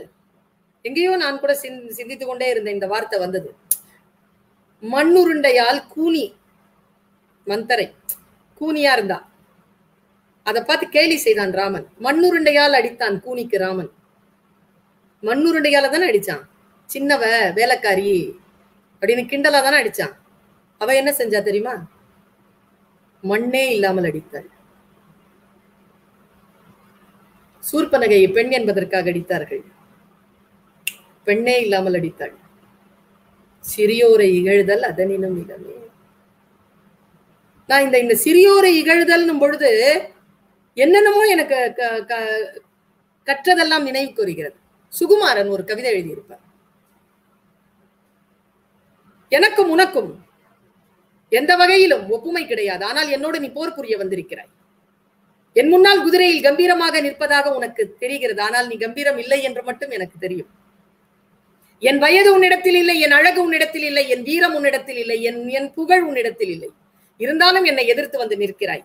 இதோ என் வாழ் சுழன்றால் உன் தலை உன் உடலில் இருந்து அப்புறப்படுத்தப்படும். ஆனால் நீ சிறியவன் நீ வாழ வேண்டும் என்று நான் நினைக்கிறேன். என்பதாக இவன் மனதில் பேசிக்கொண்டு தன் குதிரையிலிருந்து கீழே இறங்குகிறான். இறங்கி கிட்ட போறானாம். அந்த பகையாளியின் கிட்ட போறான். ஏய் சின்ன பயலே என்கிட்ட போராடுறதுக்கு வந்திருக்கேன்னு சொல்லிட்டு சொல்லுவதற்கு நாக்கு சுழல்வதற்கு முன் இந்த சின்ன பயல் என்று இவன் கருதியவனுடைய வாழ் சுழன்றது. தன்னை பெரியவன் என்று கருதி கொண்டவனுடைய தலை அவன் உடலில் இருந்து அப்புறப்படுத்தப்பட்டது. மண்ணில் உருண்டு கிடந்த அந்த பெரியவனின் தலையின் முன்னால் தெரிந்த முகத்தில் தெரிந்தது நாணம் என்று எழுதுவார். சிறியோரை இகழ்தல் அதனினம் இளமேன் என்ற சொல்லுக்கு பின்னால் மிக முக்கியமான அறிவுரை விழுமியம் அடங்கி இருக்கிறது நண்பர்களே. பெரியோரையாவது வியந்து விடலாம். சிறியோரை நீ விய நீ இகழவே இகழ முடியாது என்று சொல்லுகிறது தமிழ். தமிழ் நம்மை ஒரு கட்டத்திற்கு மேல் அடுத்த கட்டத்திற்கு அழைத்து செல்வதற்கான அத்தனை முனைப்புகளையும் காட்டி அந்த சொற்களால் நம்மை வழி நடத்தக்கூடிய பெருமை கொண்டது. அக இலக்கியங்களில் பேசக்கூடிய விஷயங்கள் நிறைய இருந்தாலும் காலம் கருதி நான் ஓர் ஒரே ஒரு பாட்டு மட்டும் சொல்கிறேன். தேவகுலத்தார் எழுதிய பாட்டு குறுந்தொகை இலக்கியம் பாடல் எண் மூன்று. திணை குறிஞ்சி. தலைமகன் சிறைப்புறமாக வர அவன் விரைந்து தன்னுடைய தலைவியை வரைந்து கொள்வது வேண்டி தோழி மொழிந்தது. இந்த விஷயத்தை நிறுத்தி நான் சொல்றேன். எனக்கு ஒரு சங்க இலக்கியங்கள்னு சொல்லிட்டு ஒரு ஒன் நாற்பத்தஞ்சு நிமிஷம் ஒன் ஹவர்லாம் பத்தாது. இதுல அகை இலக்கியங்கள் எனக்கு ரொம்ப பிடித்தமான ஒரு விஷயம்னா கூற்று. யார் சொல்றா யாருக்கு சொல்றா? கவி கூற்று உண்டு தோழன் கூற்று உண்டு தோழி கூற்று உண்டு செவிலித்தாய் கூற்று உண்டு நற்றாய் கூற்று உண்டு தலைவன் கூற்று உண்டு தலைவியின் கூற்று உண்டு. ஆனால் இவர்கள் எல்லாம் யாரிடத்தில் சொல்கிறார்கள் என்பதும் உண்டு. அது வந்து பாவம் என்று சமஸ்கிருதத்தில் சொல்வார்கள். அந்த அந்த வெளிப்பாட்டை அந்த உணர்வு வெளிப்பாட்டை நிர்ணயிக்கும். இது தன்னுடைய ஆஹ், தோழிய சீக்கிரம் கல்யாணம் பண்ணிக்கோ. அப்படின்னு சொல்லிட்டு தன்னுடைய தோழி தானே தலைவி. தோழி சொல்ற மாதிரி தலைவன் கிட்ட தோழி சொல்ற மாதிரி. இல்ல நான் நிறுத்துறேன். ஒரு ஒரு இதுக்காக சொல்றேன். தலைவனிடத்தில் தோழி தூது செல்வது மரபு. தமிழ் மரபு. ஆனால் தலைவியிடத்தில் தோழன் தூது செல்வது இல்லை. சொல்லப்படவே இல்லைங்க. நான் எனக்கு பல நாளா எனக்கு அதுக்கு விளக்கு தெரியல. மின்சார கனவு படம் பார்த்தது வரைக்கும். அந்த மாதிரி விபத்துகள் நடந்து விடுமோ என்பதற்காக போல இருக்கு. எனக்கு தெரியல அது கொஞ்சம் மிகை குற்றா கூட இருக்கலாம். நான் யாரையும் குறைத்து சொல்லவில்லை தலைவியினுடைய அன்பை குறைத்து சொல்லவில்லை. நினைத்து பார்க்கிறேன் அந்த மரபு இல்லை. ஆணை பெண்ணிடத்தில் தூதாக அனுப்புவது இல்லை. ஆனால் பெண்ணை ஆணிடத்தில் தூதாக அனுப்புவது உண்டு. அவ சொல்றா எவ்வளவு அழகா சொல்றா பாருங்க. தோழியினுடைய கூற்றெல்லாம் ரொம்ப அழகா இருக்கும். ஆஹ் தேவகுலத்தார் எழுதுறார் நிலத்தினும் பெரிதே வானினும் உயர்ந்தன்று. நிலத்தை விட பெருசு. வானை விட உயர்ந்தது. நீரினும் ஆறளவின்றே சாரல். இவ்வளவு பெருசா இருக்கிற. உன் நாடும் நீயும் உன் அன்பும் பெருசு. ஆனா நான் ஒண்ணு சொல்றேன். கருங்கோர் குறிஞ்சி பூக்கொண்டு பெருந்தேன் இழைக்கும் நாடனோடு நட்பு. உன்னுடைய உன்னுடைய நட்பு இருக்கு இல்லையா? உன்னோட என் என் தோழி கொண்டு இருக்கக்கூடிய நட்பு இருக்கு இல்லையா? உன்னுடைய ரொம்ப பெரிய நீ அழகான குறிஞ்சி பூ பூக்கிற அழகான நிலங்களை கொண்ட அழகான விஷயங்களை கொண்ட ஒரு ஒரு நாட்டுக்கு உரியவன் தான். ஆனா என் தோழியினுடைய அன்பு என் நீ தலைவியாக கொண்டிருக்கிறாள் இருக்கிறாயே என் தோழியினுடைய அன்பு நிலத்தினும் பெரிது வானினும் உயர்ந்தது. இப்போ ஒரு ஒரு ஒருத்தருடைய அன்பை இன்னொருத்தர்கிட்ட போய் இப்படி சொல்லுவதன் மூலமாக அன்பு இன்னும் பெருகி வளரும் என்பது உளவியல். அந்த அன்புக்காகவே அவன் வெறும் பயன்படுத்திவிட்டு அந்த பெண்ணை விட்டு விடாமல் திருமணம் செய்து கொள்வதற்கான ஒரு சூழலை அமைப்பதற்காக அந்த தோழி வந்து மெனக்கெடுவதாக இந்த பாட்டு. உன்னோடு நட்பு இருக்கிறதே அது ரொம்ப நீரை விட ரொம்ப ஆழமானது நிலத்தை விட மிகப்பெரியது இந்த இந்த வானத்தை விட மிக உயர்ந்தது என்று பேசுகிறார். இந்த உயர்வு காதல் தன்னுடைய தன் தன் தோழியினுடைய காதலினுடைய உயர்வை அந்த காதலினிடத்தில் அந்த தலைவியின் தலைவனிடத்தில் போய் சொல்லுகின்ற மாண்பை தோழியின் மூலமாக முன்வைக்கிறார். கபிலருடைய ஒரு பாட்டு. இந்த சின்ன வயசு என்னுடைய என்னுடைய தோழிக்கு நீ சீக்கிரம் கல்யாணம் பண்ணிக்கோ. சின்ன வயசு ஆனா காமம் அவ்வளவு பெருசா இருக்க. உனக்கு இப்படி சொன்னா புரியும் போல இருக்கு. அப்படின்னு சொல்லிட்டு ஒரு- ஒரு ஒரு ஊமையை சொல்ற பாருங்க. அந்த ஊமை ரொம்ப அழகு. இந்த பலா மரத்தை பாத்தீங்கன்னா இத்தனோண்டு இருக்குங்க காம்பு. அந்த காம்புல அவ்வளவு பெரிய பலாப்பழம் தொங்கும். உன் மீது இருக்கும் காம் காமம் அவ்வளவு பெருசாக அந்த பலாப்பழம் போல் இருக்கிறது. ஆனால் அவள் உயிரோ அந்த காம்பு போல் மிகச் சிறிதாக இருக்கிறது. நீ அவளை திருமணம் செய்து கொள்வதிலிருந்து நேரம் கடத்தாதே என்று சொல்லுகின்ற வேரல் வேலி வேர்கோட் பலவின் சாரல் நாட ஏனென்றால் உனக்கு நான் சொல்ற உதாரணம் வந்து உன் உன் வீட்லயே இருக்குது உன் நாட்டிலேயே இருக்குது. நீ போனனா அந்த பலாமரத்தை பார்க்கலாம். பார்த்தாலாவது என் தலைவியை நினைத்துக்கொள் என் தோழியை நினைத்துக்கொள். வேரல் வேலி வேர் கோட் பலவின் சாரல் நாட செவ்வியை ஆகுமதி நல்லா இரு. யார் அக்தி அக்னி- அறிந்திசினோரே சாரல் சிறுகோட்டு பெரும் பழம் தூங்கியாங்கு இவள் உயிர் தவச் சிறிது காமமோ பெரிதே என்கின்ற பாட்டு.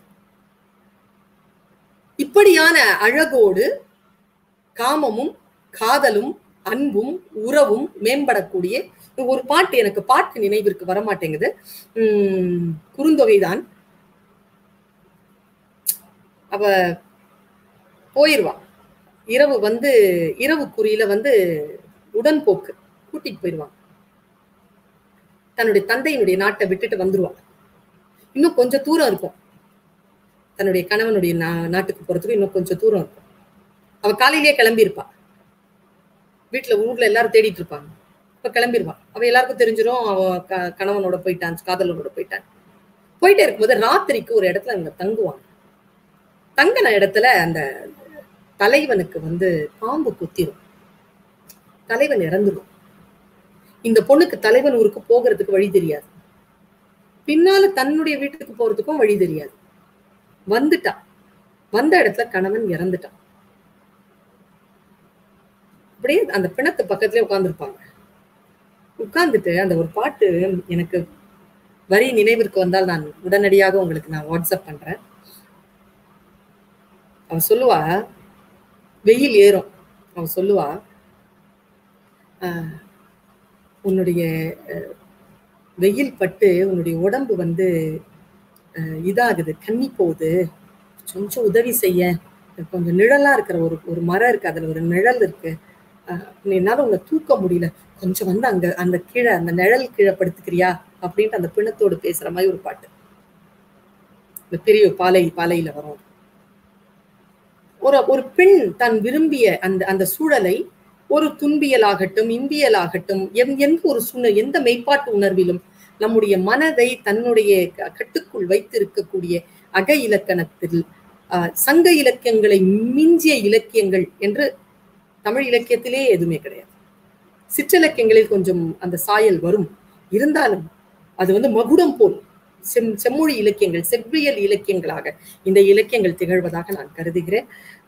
எனக்கு இன்னும் ஒரு ஒரு எவ்வளோ நேரம் இருக்குன்றது எனக்கு தெரியல. ஏனென்றால் ஒன்பதரை மணி ஆயிடுச்சு. கரெக்டான நேரத்துக்கு தொடங்கி நான் ஒரு மணி நேரம் பேசிக்கொண்டிருக்கிறேன். கேள்வி பதிலுக்கான நேரமும் இருக்கிறது. நான் பட்டினப்பாலையில் ஒரு ஒரு கருத்தை சொல்லிவிட்டு அதற்கு பிறகு போகலாமா? இல்ல நிறுத்திவிட்டு கேள்வி பதிலுக்குள் போகலாம்? இல்ல மேடம் நீங்க கண்டினியூ பண்ணுங்க. இன்னும் நேரம் இருக்கு. நீங்க ஒரு பத்து நிமிஷம் பண்ணுங்க. நன்றி நன்றி நன்றி. எனக்கு இந்த பட்டினப்பாலையில எனக்கு ரொம்ப பிடித்தமான ஒரு ஒரு காட்சி இருக்கு. அந்த காட்சி மட்டும் நான் சொல்றேன். கடியலூர் உருத்திரங்கண்ணனார் எழுதிய பத்து பாட்டு பத்து பாட்டுல பாலைத்திணை பற்றிய அகப்பாட்டு பட்டினப்பாலை. இது வந்து முன்னூத்தி ஒரு அடிகளால் ஆன ஒரு ஒரு இலக்கியம். உம் இதுல வந்து வஞ்சி நெடும் பாட்டு என்று கூட இதை சொல்வார்கள். அதாவது என்றும் இந்த இந்த இந்த பாட்டினுடைய தலைவன் வந்து கரிகால் பெருவளத்தான். இந்த பாட்டினுடைய தலைவன். ஆஹ் அதாவது காரண அதாவது பொருள் காரணமாக தலைவியை பிரிகிறான். அந்த அந்த காவிரி பூ பட்டினத்தையே எனக்கு பரிசா கொடுத்தாலும் நான் என்னுடைய தலைவியை பிரிய மாட்டேன் என்று சொல்லுகிறதாக அந்த பாட்டு. இப்ப காவிரி பூம்பட்டினத்தையே அப்படின்னா எப்படிப்பட்ட காவிரி பூம்பட்டினம் அப்படிங்கறதுதான் முழு இலக்கியமே. அந்த அந்த இல அந்த பட்டினத்தினுடைய பேரழகுதான் இதுல வந்து ஆனால் என்னன்னா ஒன்றை சொல்லுகின்ற பொழுது ஒரு காதல் கதையையோ அல்லது எதையோ சொல்லுகின்ற பொழுது அந்த அந்த எழுத்தாளர் தான் வாழ்ந்த அல்லது வாழ்ந்து கொண்டிருக்கக்கூடிய அந்த சமூகத்தின் எல்லா விடயங்களையும் பதிவு செய்கிறார் இந்த பதிவில் நமக்கு கிடைக்கக்கூடிய தரவுகள் மிக முக்கியமான தரவுகளாக இருக்கின்றன. எப்படி நம்முடைய வாணிபம் எப்படி நடந்தது? நம்முடைய மண் வளம் எப்படி இருந்தது? நீர் வளம் எப்படி இருந்தது? நாம் அறம் சார்ந்து எப்படி வாழ்ந்தோம்? காதல் சூழல் எப்படி இருந்தது? அறம் சார்ந்த புறச்சூழ்நிலைகளை எப்படி சமூகம் முன்னெடுத்தது? ஒரு தெரு எப்படி இருந்தது? ஒரு மார்க்கெட் அப்படின்னா ஒரு சந்தை அப்படின்னா அந்த சந்தையில இங்க கறி விக்குது இங்க மீன் விக்குது இங்க பாடம் நடத்துறாங்க இங்க வந்து கோயில் இருக்குது அப்படிங்கிறது எதை வைத்துக்கொண்டு நாம் அடையாளம் கண்டு கொண்டோம். ஏன்னா ஒரு இடத்துக்குள்ள போனதா அது தெரியும்னா உயர்ந்த கொடிகளை நட்டு அந்த கொடிகளின் வண்ணங்களை வைத்துக்கொண்டு அந்த கொடிகளில் இருக்கக்கூடிய வடிவங்களை வைத்துக்கொண்டு இது இந்த இந்த இங்க மீன் பொறிக்கிறாங்க இங்க வந்து பாடம் நடத்துறாங்க இங்க வேள்வி நடத்துறாங்க இங்க வந்து கோ கோயில் இருக்குது இங்க வந்து இது திருப்பலி சாத்துறாங்க அப்படிங்கிற ஒரு விஷயத்தை அவங்க வந்து முன்னெடுக்கிற மாதிரி ஒரு வீடு எப்படி இருந்தது? அந்த வீட்டிற்கான அமைப்புகள் மேல மாடி படிக்கட்டெல்லாம் எப்படி இருந்தது? எத்தனை ஃப்ளோர் வச்சு கட்டி எத்தனை அடுக்கு மாடி இருந்தது? ஒரு ஒரு அரண்மனைனா அந்த அரண்மனை வந்து எப்படி சுவர் எழுப்பி இருந்தது? ஒரு வீடு வந்து நெடுங்கதவுகள் எப்படி இருந்தன? அந்த கதவுல வந்து எந்த மாதிரியான இந்த க- கைப்பிடிகள் எப்படி இருந்தன? எல்லாத்தையும் அப்படியே வந்து படம் பிடிச்சு காட்டுவது போல் இருக்கிறது பட்டினப்பால் முன்னூத்தி ஒரு வரிதான். ரொம்ப பேரிலக்கியம்லாம் இல்ல. படிச்சா ரொம்ப எளிமையா புரியிற ஒரு ஒரு பாடம்தான். அந்த பாடல் தான் அந்த இலக்கியம் தான் முடிந்தால் படிக்க பாருங்க. அதாவது அவர் ஆரம்பிக்கும் பொழுதே வசையில் புகழ் வயங்கு வெண்மீன் திசை திருந்து தெற்கேகினும் தற்பாடிய தளி உணவின் புல் தேம்ப புயல் மாறி வான் பொய்ப்பினும் தான் பொய்யா மலைத்தலைய கடல் கடல் காவிரி. காவிரி நம்மளுடையதா அவங்களுடையதான்னு சொல்லிட்டு ஒரே சண்டைல ஒரே சண்டையா இல்லையா? நினைச்சு பாருங்களேன். இதோ ரெண்டாயிரம் வருஷத்துக்கு முன்னாலேயே காவேரி நம்மளுடையது. எதுவா? இந்த விண்மீன் ஒண்ணு தெற்கு கிழக்குல எப்பவுமே வரக்கூடிய விண்மீன் வந்து தெற்குக்கு வந்துட்டாலும் வானம்பாடி பறவை மேல பறக்குதே அதுக்கு மழை துளிதான் தன்னுடைய முதல் உணவு. வாய் திறந்து முதல் துளிய வாய்க்குள்ள இருந்து எடுத்துக்கோ. அப்படிப்பட்ட மழை மாறினாலும் புயல் மாறினாலும் எது வேணாலும் மாறட்டும். விண்மீன் கூட மாறட்டும். ஆனால் வான் பொய்ப்பினும் தான் பொய்யா மலை தலைய கடல் காவேரி. காவேரி மட்டும் பொய்க்காதான் ஆடி பெருக்கெடுத்து வந்துரும். அது மட்டும் எப்பவுமே பொய்க்காது என்று பட்டினப்பாலை சொல்கிறார் எனக்கு இந்த பட்டினப்பாலையில ஒரு காட்சி மட்டும் சொல்றேன். ஒரு ரெண்டு காட்சி சொல்றேன். எனக்கு சொன்னா ஒரு அஞ்சாறு காட்சி சொல்வேன் நான். டைப் இல்லை ரெண்டு காட்சி சொல்றேன். ஒரு அம்மாக்கு நெற்றி வந்து ரொம்ப வெளிச்சமா இருக்கு. சுடர் நுதல் மட நோக்கு. இந்த இந்த ரெண்டு அடைமொழி இருக்குல்ல சுடர் நுதல் மட நோக்கு. மடம் அப்படிங்கறதுல வந்து அச்சம் மடம் நாணம் பயிர்ப்பு. இதுல அச்சமும் நாணமும் நாய்களுக்கு வேண்டுமாம்னார் பாரதி. மடத்தை பத்தி சொல்லவே இல்லை. மடம்னா மடத்தனம் கிடையாது. ஒரு இன்னசென்ஸ் பயிர்ப்பு என்பது அடுத்தவர்களுடைய பார்வையால தொடுவதால வரக்கூடிய அருவருப்பு உணர்வு. அது அது அலர்ட்னஸ் அதுவும் இருக்கணும். ஒரு இன்னசென்ஸ் இருந்தா அது ரொம்ப அழகுதான். ஓவரா தான் இருக்கக்கூடாது. ஓவரா போனாதான் அது லூசு ஒரு இன்னசென்ஸ் இருக்கணும். அம்மாட்ட இருக்கும் பாருங்க. நம்ம அம்மாட்ட இப்பவும் இருக்கும். நீங்க போய் சும்மா ஏதாவது ஒண்ணு சொல்லுங்க. அப்படியான்பாங்க. வைஃப் கிட்ட சொல்லுங்க நம்பாது. ஏய் அப்படின்ட்டு போயிட்டே இருக்கும்.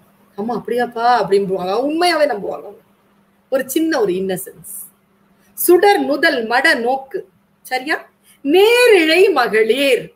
எனக்கு இந்த சொல் ரொம்ப பிடிக்கும். அணிகலன்கள் எப்படி போடணும்னா ரொம்ப நீட்டா நேர்த்தியா போட்டுட்டு இருப்பாங்களாம் அவங்க. கண்ணா பின்னான்லாம் போடுற பழக்கம் இல்ல தமிழர்களுக்கு. ரொம்ப நேர்த்தியான அணிகலன்கள் அணிந்தவர்.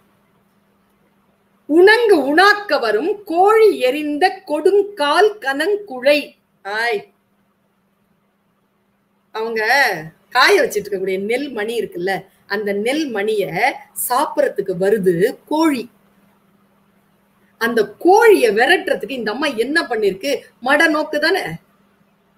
காதுல இருக்கிற அந்த தங்கட்டி இருக்குல்ல பெருசா கொடுங்கால் காது குழை அப்படி. கொடுங்காதுன்னா பெருசா நீண்டு இருக்கும். போட்டு வளர்த்து வச்சிருப்பாங்க காதை. அது ஒரு ஒரு ஒரு செரிமனியே நடக்கும். திட்டுப்படாம வளர்ப்பாங்க அது. காது வளர்க்குற செரிமனின்ட்டு அது போயிடுச்சு. இப்ப இல்ல நம்ம தமிழ்ல. தமிழ் மரபுல குறைஞ்சிருச்சு. சில இடங்கள்ல இருக்கு. ஒண்ணு ரெண்டு தான்.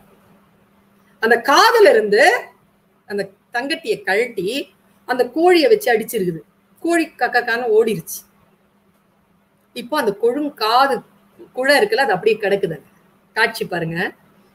சுடர் முதல் மட நோக்கின் நேரிழை மகளிர் உணங்கு உணாக்க வரும் உலர்த்தி கொண்டிருக்கக்கூடிய திணைகளை உண்ண வரும்.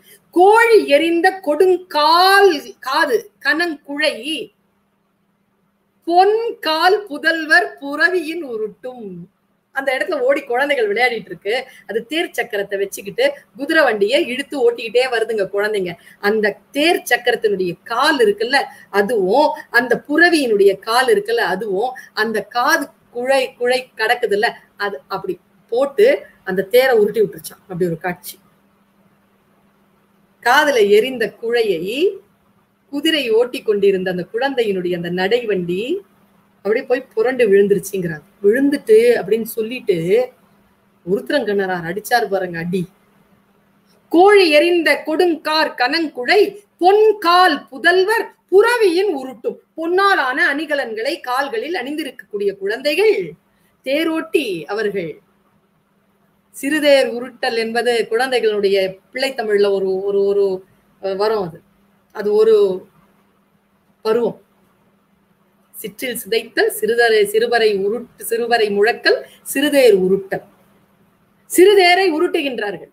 அப்போ அந்த காதுல இருக்கக்கூடிய கம்மல் வந்து அந்த தோடு வந்து அப்படி குழை வந்து அப்படி புரட்டி விட்டுருச்சான் புரட்டி விட்டுருச்சுன்னு சொல்லிட்டு அவர் பின்னால் எழுதுறார் முக்கால் சிறுதேர் முன் வழி விளக்கும். சிறுதேர் வந்து முன்னால இருக்கிறக்கூடிய அந்த வழியை விளங்கி அப்படி போயிடுச்சான் உருண்டுருச்சு கீழே விழுந்துருச்சுன்னு சொல்றாரு. முன் வழி விளக்கும். அடுத்தது சொன்னார் பாருங்க விலங்கு பகை அல்லது கலங்கு பகை அறியா கொழும் பல்குடி செழும் பாக்கம். அதுதான் அந்த காதுல இருக்கக்கூடிய அந்த குழைதான் தேரினுடைய காலை புறவியினுடைய காலை புரட்டி தேரை உருட்டியது தவிர அங்க இருக்கக்கூடிய மக்கள் இருக்கிறார்கள்ல அவர்கள் விலங்கு பகை அல்லது கலங்கு பகை அறியாதவர்கள். அவர்களை பார்த்து பகை விலகுமே தவிர எந்த பகையையும் பார்த்து அவர்கள் கலங்க மாட்டார்கள். விலங்கு பகை அல்லது கலங்கு பகை அறியா? அடுத்தது பாருங்க குழும் பல் குடி செழும் பாக்கம். குழும் பல் குடின்னு என்ன அர்த்தம்? அவங்க தாத்தா அவங்க தாத்தா அவங்க தாத்தா அவங்க தாத்தான்னு தாத்தா தாத்தாவா வாழ்ந்த கொழும் பல்குடி கொழுத்த மிக பழைய குடி. பதி எழு அறியா பழங்குடி என்பார் மணிமேகலை சித்தலை சாத்தனா சொல்வார் பதி எழு அறியா பழங்குடி அப்படி கொழும் பல்குடி செழும் பாக்கம் செழுமையான பகுதி. கடலும் காவிரி யாரும் கலக்கக்கூடிய பகுதி பாக்கம். பட்டினப்பாக்கம். அந்த பாக்கத்துல இன்னொரு காட்சி சொல்லிட்டு நான் நிறைவு செய்கிறேன். அங்க வந்து ஒரு இடத்துல இது சோழ நாடு தானே? காவிரி ஓடுறது சோழ நாடு. சோழ நாடுனாலே சோறு உடைத்து இல்லையா? சோழ நாடு சோறு உடைத்து. பாண்டிய நாடு முத்துடைத்து சேர நாடு வேழம் உடைத்து. இதுல சோறு அது சொல்லுவாங்கல்ல நெல்லா அறுத்து கொடுத்தா சோறாக்க நேரம் ஆகும்னு சோறா வடிச்சு கொடுத்த நாடு சோழ நாடு. பசிச்சு பசிக்கு நெல் கொடுக்க மாட்டோம். சோறு வடிச்சு கொடுப்போம். சோழ நாடு. அங்க வந்து சோறு ஆக்குறாங்க. எனக்கு இந்த இந்த இந்த இந்த காட்சியை சொல்றதுலயே அவ்வளவு சந்தோஷம். நான் போய் அங்க வாழ்ந்துட்டு வரேன். அட்டில்னு பேருங்க. அட்டில்னா அடுப்பங்கரை. புலிப்பறி புலிப்பொறி போர் கதவு. அவ்வளோ பெரிய கதவு இருக்கு. புலி பொறி போட்டிருக்கு. திரு துஞ்சும் தின் காப்பு. காவலுக்கான அந்த பார்த்தாலே அவ்வளவு செழுமையா இருக்குதான். திரு துஞ்சும். செல்வம் தூங்கிட்டு இருக்கான். கா- காவலுக்கான அந்த அந்த வெளிப்புறத்திலேயே செல்வம் தூங்கிட்டு இருக்கான். எப்படி அது? செல்வத்தை உள்ள வச்சுட்டு தானே வெறும் கல்லுல தானே காவல் கோட்டம் கட்டுவாங்க? இவங்க கோ கோட்டை கட்டி இருக்கக்கூடிய சுவர்லயே செல்வம் தூங்குதான். திரு துஞ்சும் தின் காப்பு புகழ் நிலைய மொழி வளர அறம் நிலைய அகநட்டில். பெண்களே கவனம். பெண்கள் சமையல் செய்கின்ற பொழுது அறம் சார்ந்த சொற்களை மட்டுமே பேச வேண்டும். எப்படி இருக்கா? அன்பு சார்ந்த சொற்கள். சமையலறைக்கு போனாலே ஏதோ சமைச்சிட்டு இருக்கோம் நடுவுல வந்து குழந்தை ஏதாவது எடுக்குதுன்னா ஆசையா அதுக்கு எடுத்து கொடுக்குற அம்மா மனப்பான்மை நல்லா இருக்குதுன்னு அர்த்தம் கோச்சிக்காம இருக்குதுன்னு அர்த்தம். சமைச்சிருக்குல்ல வெய் போ அப்புறமா நான் இப்போ எடுத்துட்டு வரேன் எல்லாமேன்னு சொன்னா கோச்சிட்டு இருக்குன்னு அர்த்தம். மூட் சரியில்லைன்னு அர்த்தம். ஆமா வந்துட்டாங்க. இத்தனை பேருக்கு வடிச்சு கொட்டுறதுன்னா முடிஞ்சு போச்சுன்னு அர்த்தம். அறம் இல்ல அந்த அந்த அறையில அந்த சமையல் அறையில. அறம் புகழ் நிலைய மொழி வளர மொழி வளர்கிறது. புகழ் நிலை பெறு பெறுகின்ற புகழ் கொண்ட மொழி வளரக்கூடிய அறம் நிலைய அகல் அட்டில். அறம் நிலைஞ்சு இருக்குது. எங்க அகன்ற அந்த அட்டில். பெருசா இருக்கான் சமையலறை. அகனட்டில் சோறு ஆக்கிய கொழுங்கஞ்சி சோறு வந்து ஆக்கி இருக்கிறாங்க அந்த கொழுத்த கஞ்சி வெளியில ஓடுதுங்க. வெளியில ஓடி இது பாருங்களேன் இது ஒரு காட்சி. வெளியில ஓடுனது என்ன ஆச்சு எல்லாம் எருது வந்து பொருது. அது குடிக்கிறதுக்கு. ஒருத்தர் ஒருத்தர் சண்டை போட்டதுல சேராயிடுச்சுங்க. சண்டை போட்டு எருதெல்லாம் போயிடுச்சு. சேராக்கி இருக்கு பாருங்க. சேரானும் போது சூரியன் உதய வந்துருச்சு. சூரியன் உதயம் வந்த உடனே சேரெல்லாம் காஞ்சி போச்சு. காஞ்சுன்னு அந்த புழுதி படிஞ்ச அந்த தெருவுல தேர் ஓட்டிட்டு வரான் மன்னன். இந்த தேர்கால் பட்டு அந்த புழுதி வந்து அப்படி பறக்குது. பறந்த அந்த புழுதி அந்த அந்த பக்கத்துல இருக்கிற வீடுகள் எல்லாம் மேல போய் அந்த புழுதி படிஞ்சிருச்சான் அது எப்படி இருக்கான் டிசைன் டிசைனா மேகம் போல அது வினயத்து ஓவம் காட்டும். ரொம்ப அழகா யானை மாதிரி குதிரை மாதிரி எல்லாம் ஓவியம் மூலியமா அந்த அழுக்கு படிஞ்சிருக்கான் அது சொல்லுவாங்கல்ல இப்ப வருதுல கரை நல்லதுன்னு. அந்த மாதிரியான ஒரு சொல் அந்த பாட்டு பாருங்க. புலிப்பொறி போர்க்கதவின் திரு துஞ்சும் தின் காப்பு புகழ் நிலைய மொழி வளர அறம் நிலைய அகல் அட்டில் சோறு வாக்கிய கொழுங்கஞ்சி ஆறு போல பறந்தொழுகி ஆறு மாதிரி ஓடுதான். அப்ப எவ்வளோங்க சோறு வடிச்சிருப்பாங்க. சோறு வாக்கிய கொழுங்கஞ்சி ஆறு போல பறந்தொழுகி ஏறு பொற சேராகி தேர் ஓட துகள் கெழுமி நீராடிய களிறு போல வேறுபட்ட வினை கோவத்து வெண்கோயில் மாசு ஊட்டும் இந்த வெண்மையான அத இலையடிச்சு இருக்கக்கூடிய அந்த கோ இருக்கும் இல்லில் மாசு ஊட்டுவது சோறாக்கிய கஞ்சியின் தூசு என்று எழுதக்கூடிய செழுமை பட்டினப்பாக்கத்தில் இருந்தது. அதனால்தான் கொழும் பல் குடி செழும் பாக்கம் என்று பேசுகிறார் உருத்திரங்கண்ணனார் இன்னும் பேசுவதற்கும் இன்னும் படிப்பதற்கும் சங்க இலக்கியத்தில் கொட்டி கிடக்கிறது பொக்கிஷம் போல் வாய்ப்பிருந்தால் மீண்டும் சேர்ந்து வாசிப்போம் பகிர்வோம். வாய்ப்புக்கு மகிழ்ச்சி. நன்றி. வணக்கம். வணக்கங்கம்மா. ஓ உங்களோட உரையை கேட்டதுல இப்ப இவ்வளவு நேரம் எல்லாரும் கேட்டுட்டு இருந்திருப்பாங்க. இதுக்கு இடையில நான் வர்றது எல்லாருக்கும் ஏன் மேல கோவமா இருக்கும். எனக்கே வந்து இது ஏன் ஏன் நீங்க நிப்பாட்டினீங்க அப்படின்னு இருக்கு. ரொம்ப நன்றி. உங்க உரையை கேட்டதுல நாங்க வந்து இலக்கியம் கற்றோம் இலக்கணம் கற்றோம். இனிய தமிழ் கேட்ட பேரும் பெற்றோம். நீங்க ஒரு ஒரு பாடலையும் விளக்கின விதம் வந்துட்டு அந்த சங்ககால கட்டத்துக்கே போயிட்டு வந்த மாதிரி ஒரு உணர்வு இருந்தது. அதுவும் உங்களோட அந்த தண்டட்டி அவங்க தூக்கி எறிஞ்சு அதை சொல்லும் போது அதோட எக்ஸ்பிரஷன்ஸ் எல்லாம் பார்க்கும்போது ரொம்ப அருமையா இருந்தது. இந்த நேரம் ஏன் முடிஞ்சதுன்னு இருக்கு? ஷம்மு அவங்க வந்து பத்து நிமிஷம் சொன்னதுக்கு பதிலாக பத்து மணி நேரம்னு கூட சொல்லியிருக்கலாம். நீங்களும் பேசியிருப்பீங்க நாங்களும் கேட்டிருக்கோம். நீங்க இன்னொரு உரையில பேசும்போது நான் வந்து கவனிச்சேன். அதுல வந்து அறம் பத்தி பேசும்போது நீங்க கேட்டீங்க யார் பெரியவர் என்று அறியப்படுகிறார் அப்படின்னு சொல்லி சொல்லிட்டு. ஒரு வந்து பெரிய பதவியில இருக்கிறதுனாலயா இல்ல வந்து செல்வந்தரா இருக்கிறதுனாலயா இல்ல அவர் வந்து அறம் சார்ந்து நிற்பவர் பெரியவர் என்று அறியப்படுகிறார் அப்படின்னு சொல்லி சொல்லிட்டு. அது வந்து சமூகத்துக்கும் பொருந்தும் அப்படிங்கிறது உண்மை. அந்த சமூகம் ஆஹ், அதை உணர்ந்து தமிழ் சமூகம் பல நூறு பல நூறு ஆண்டுகளாக பல நூறு பேர் சேர்ந்து அந்த அறத்தை வலியுறுத்தி அதை வந்து ஆஹ், பாடல்களா இயற்றியிருக்காங்கன்னு நீங்க வந்து எங்களுக்கு வியத்தகு செய்திகளை சொன்னீங்க. மிக்க நன்றி.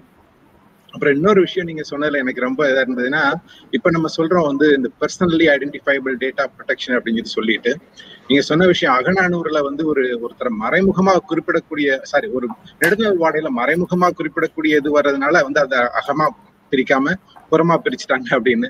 அதையே வந்து ஒரு அறமா ஆஹ், வகுத்து வச்சிருக்காங்கன்னு கேட்கும்போது மிக மிக்க வியப்பா இருந்து ஆஹ் ரொம்ப நன்றி. இந்த சனிக்கிழமை காலை வேளையில அமெரிக்க சொந்தங்களோட அற அறம் பற்றியும் தமிழ் தமிழனம் பற்றியும் ஆஹ் எங்களோட பகிர்ந்து கொண்டதுக்கு மிக்க நன்றிங்கம்மா.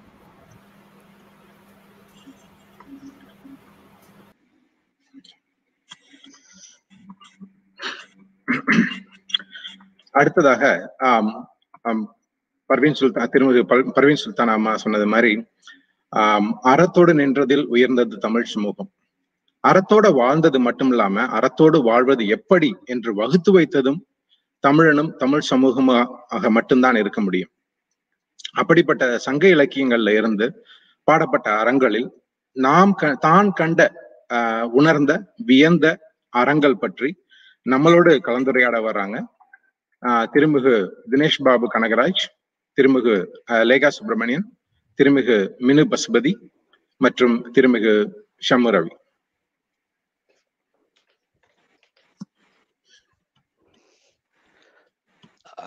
வணக்கங்க.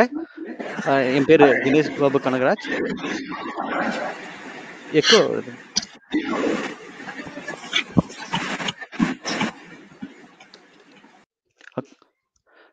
வணக்கங்க.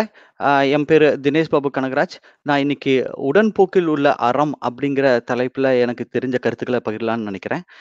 அது என்ன உடன்போக்கு அதாவது களவு ஒழுக்கத்தில் ஈடுபட்ட தலைவனும் தலைவியும் பெற்றோருக்கு தெரியாம தோழியோட துணையோட வேறொரு இடத்துக்கு போய் திருமணம் பண்றதுக்கு பேர் உடன்போக்குன்னு சொல்லுவாங்க.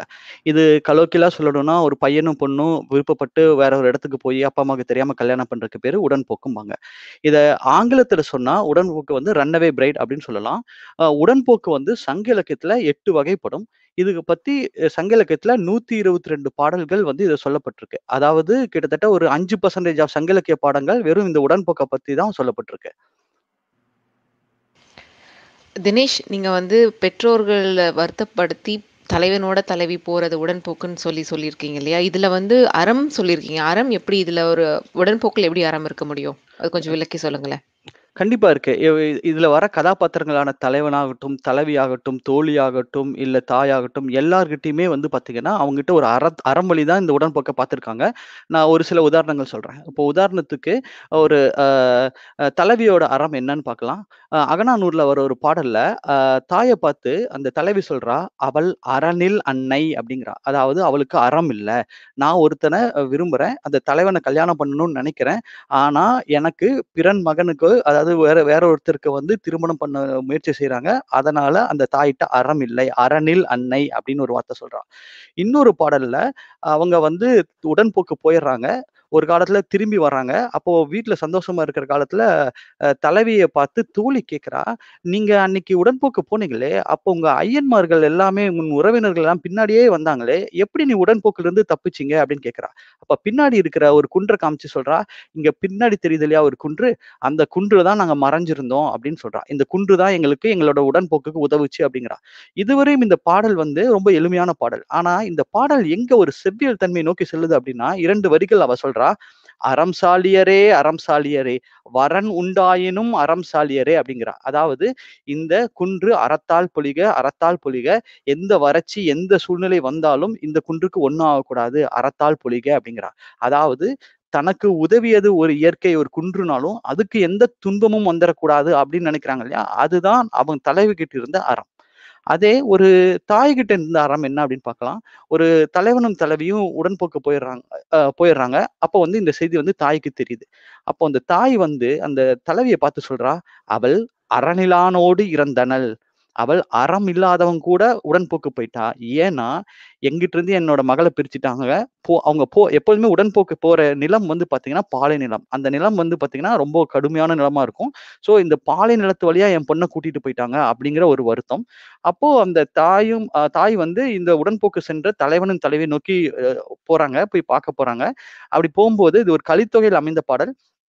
அந்த தாய் வந்து போ அந்த எதிரில் வந்து சில துறவிகள் வராங்க. அந்த துறவிகளை பார்த்து சொல்றாங்க தம்முள்ளே புணர்ந்த தாமரை புணர்ச்சியர் அன்னார் இருவரை காணீரே. அதாவது தமக்குள்ளே விருப்பப்பட்டு விரும்பி சென்ற இரண்டு ஆஹ் ஆஹ் தலைவனும் தலைவியும் ஆஹ் உடன்போக்கு சென்ற பேரை பார்த்தீங்களா? அவங்க யாருன்னா என் மகள் ஒருத்தியும் பிறர் மகள் ஒருவனும். அது யாருன்னா என்னோட மகளும் பிறர் மகன் ஒருத்தனும் போயிட்டாங்க அப்படின்னு சொல்றாங்க. அப்போ அந்த சான்றோர்கள் என்ன சொல்றாங்களா? காணோம் அல்லோம் கண்டோம். பார்க்கலன்னு சொல்லல பார்த்தோம். அந்த ஆண்மகன் எப்படி இருந்தானா அவன் ஆணெழில் அண்ணல். அவன் ஆண்களிலே மிகவும் அழகான புத்திசாலியான ஒருத்தன். அவன் அவன் அவன் கூட தான் போயிருக்கா அப்படின்னு சொல்றாங்க.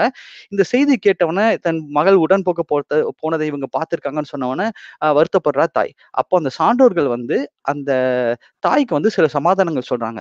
ஒரு சில உதாரணங்கள் சொல்றாங்க. அவங்க என்ன சொல்றாங்கன்னா சந்தன மரம் காட்டுல விளையுது. ஆனா அந்த காடுகளுக்கு அந்த மரம் எந்த பயனும் இல்லை. அதை யாரு பூசிக்கிறாங்களோ அவங்களுக்கு தான் பயன்.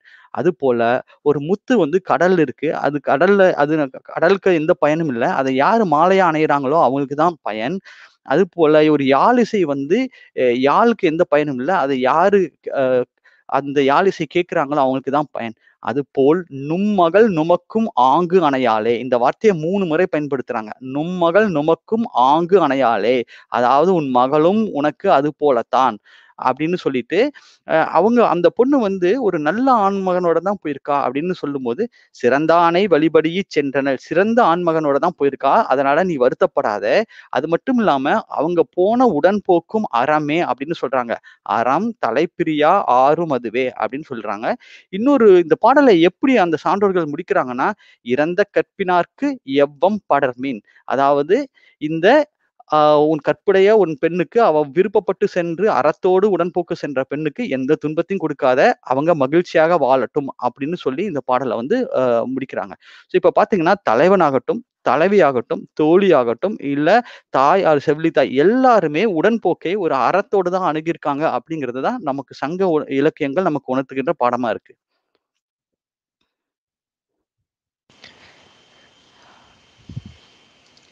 அண்ணே அனைவருக்கும் வணக்கம். என் பேர் லேகா சுப்பிரமணியன். இப்போ வந்து அறத்தை பற்றி உடன்போக்கில் பற்றி தினேஷ் அழகாக சொன்னார். நான் வந்து சங்க காலத்தில் நடுகள் பற்றின அறத்தை வந்து கொஞ்சம் உங்ககிட்ட பகிர்ந்துக்கலாம்னு நினைக்கிறேன். இதில் வந்து நடுகள் அப்படின்னா என்ன? அது வந்து வீர மரணம் அடைந்த போரில் வீர மரணம் அடைந்தவங்களுக்கு மட்டும்தான் அதுவும் கரந்தியர்களுக்கு மட்டும்தான் நடுகள் வைப்பாங்கன்றது ஒரு மரபாவே வாழ இருந்தது வாழ்ந்து வந்திருக்காங்க. அதுல வந்து உங்களுக்கு சி- சில குறிப்புகளை நான் சொல்றேன். என்னன்னா சங்ககால முறைகள்ல வந்து உங்களுக்கு தெரியும் மன் ஒரு மன்னர் நாட்டை பிடிக்கணும் அல்லது அவரோட போர் வந்து எப்படி இருக்கும் அப்படின்றது வந்து முதல்ல ரெண்டா பிரிக்கிறாங்க. ஒன்று அறவழி போர் இன்னொன்னு அழிவு போர் அவங்களோட செருக்கு காட்டுறதுக்காக அழிவு அழிக்கும் நோக்கத்துல போறது வந்து அழிவு போரணும். அழிக்க வந்த மன்னர் கிட்ட இருந்து தம்மளையும் தம் மக்களையும் காக்கிறதுக்காக நடக்கப்பட்ட போர் வந்து அறப்போர்னு சொல்றாங்க. இதுல வந்து இன்னும் இன்னும் நான்கு உட்பிரிவுகளா பிரிக்கலாம். அதுல என்னன்னு பாத்தீங்கன்னா ஆணிரை போர் நாடு தழுவும் போர் அதுக்கப்புறம் அரண் அப்புறம் ஆற்றல்ஸ் ஆற்றல் செருக்கு அப்படின்னு உட்பிரிவுகளா வந்து போர் அஹ் போர் வந்து பிரிக்கப்படுது. இதுல யாரு எதுக்காக போரிடுறாங்கன்றத வந்து புறப்பொருள் வெண்பா மாலையில ஒரு பாடலாவே கொடுத்திருக்காங்க. அது என்னன்னு பார்க்கலாம்.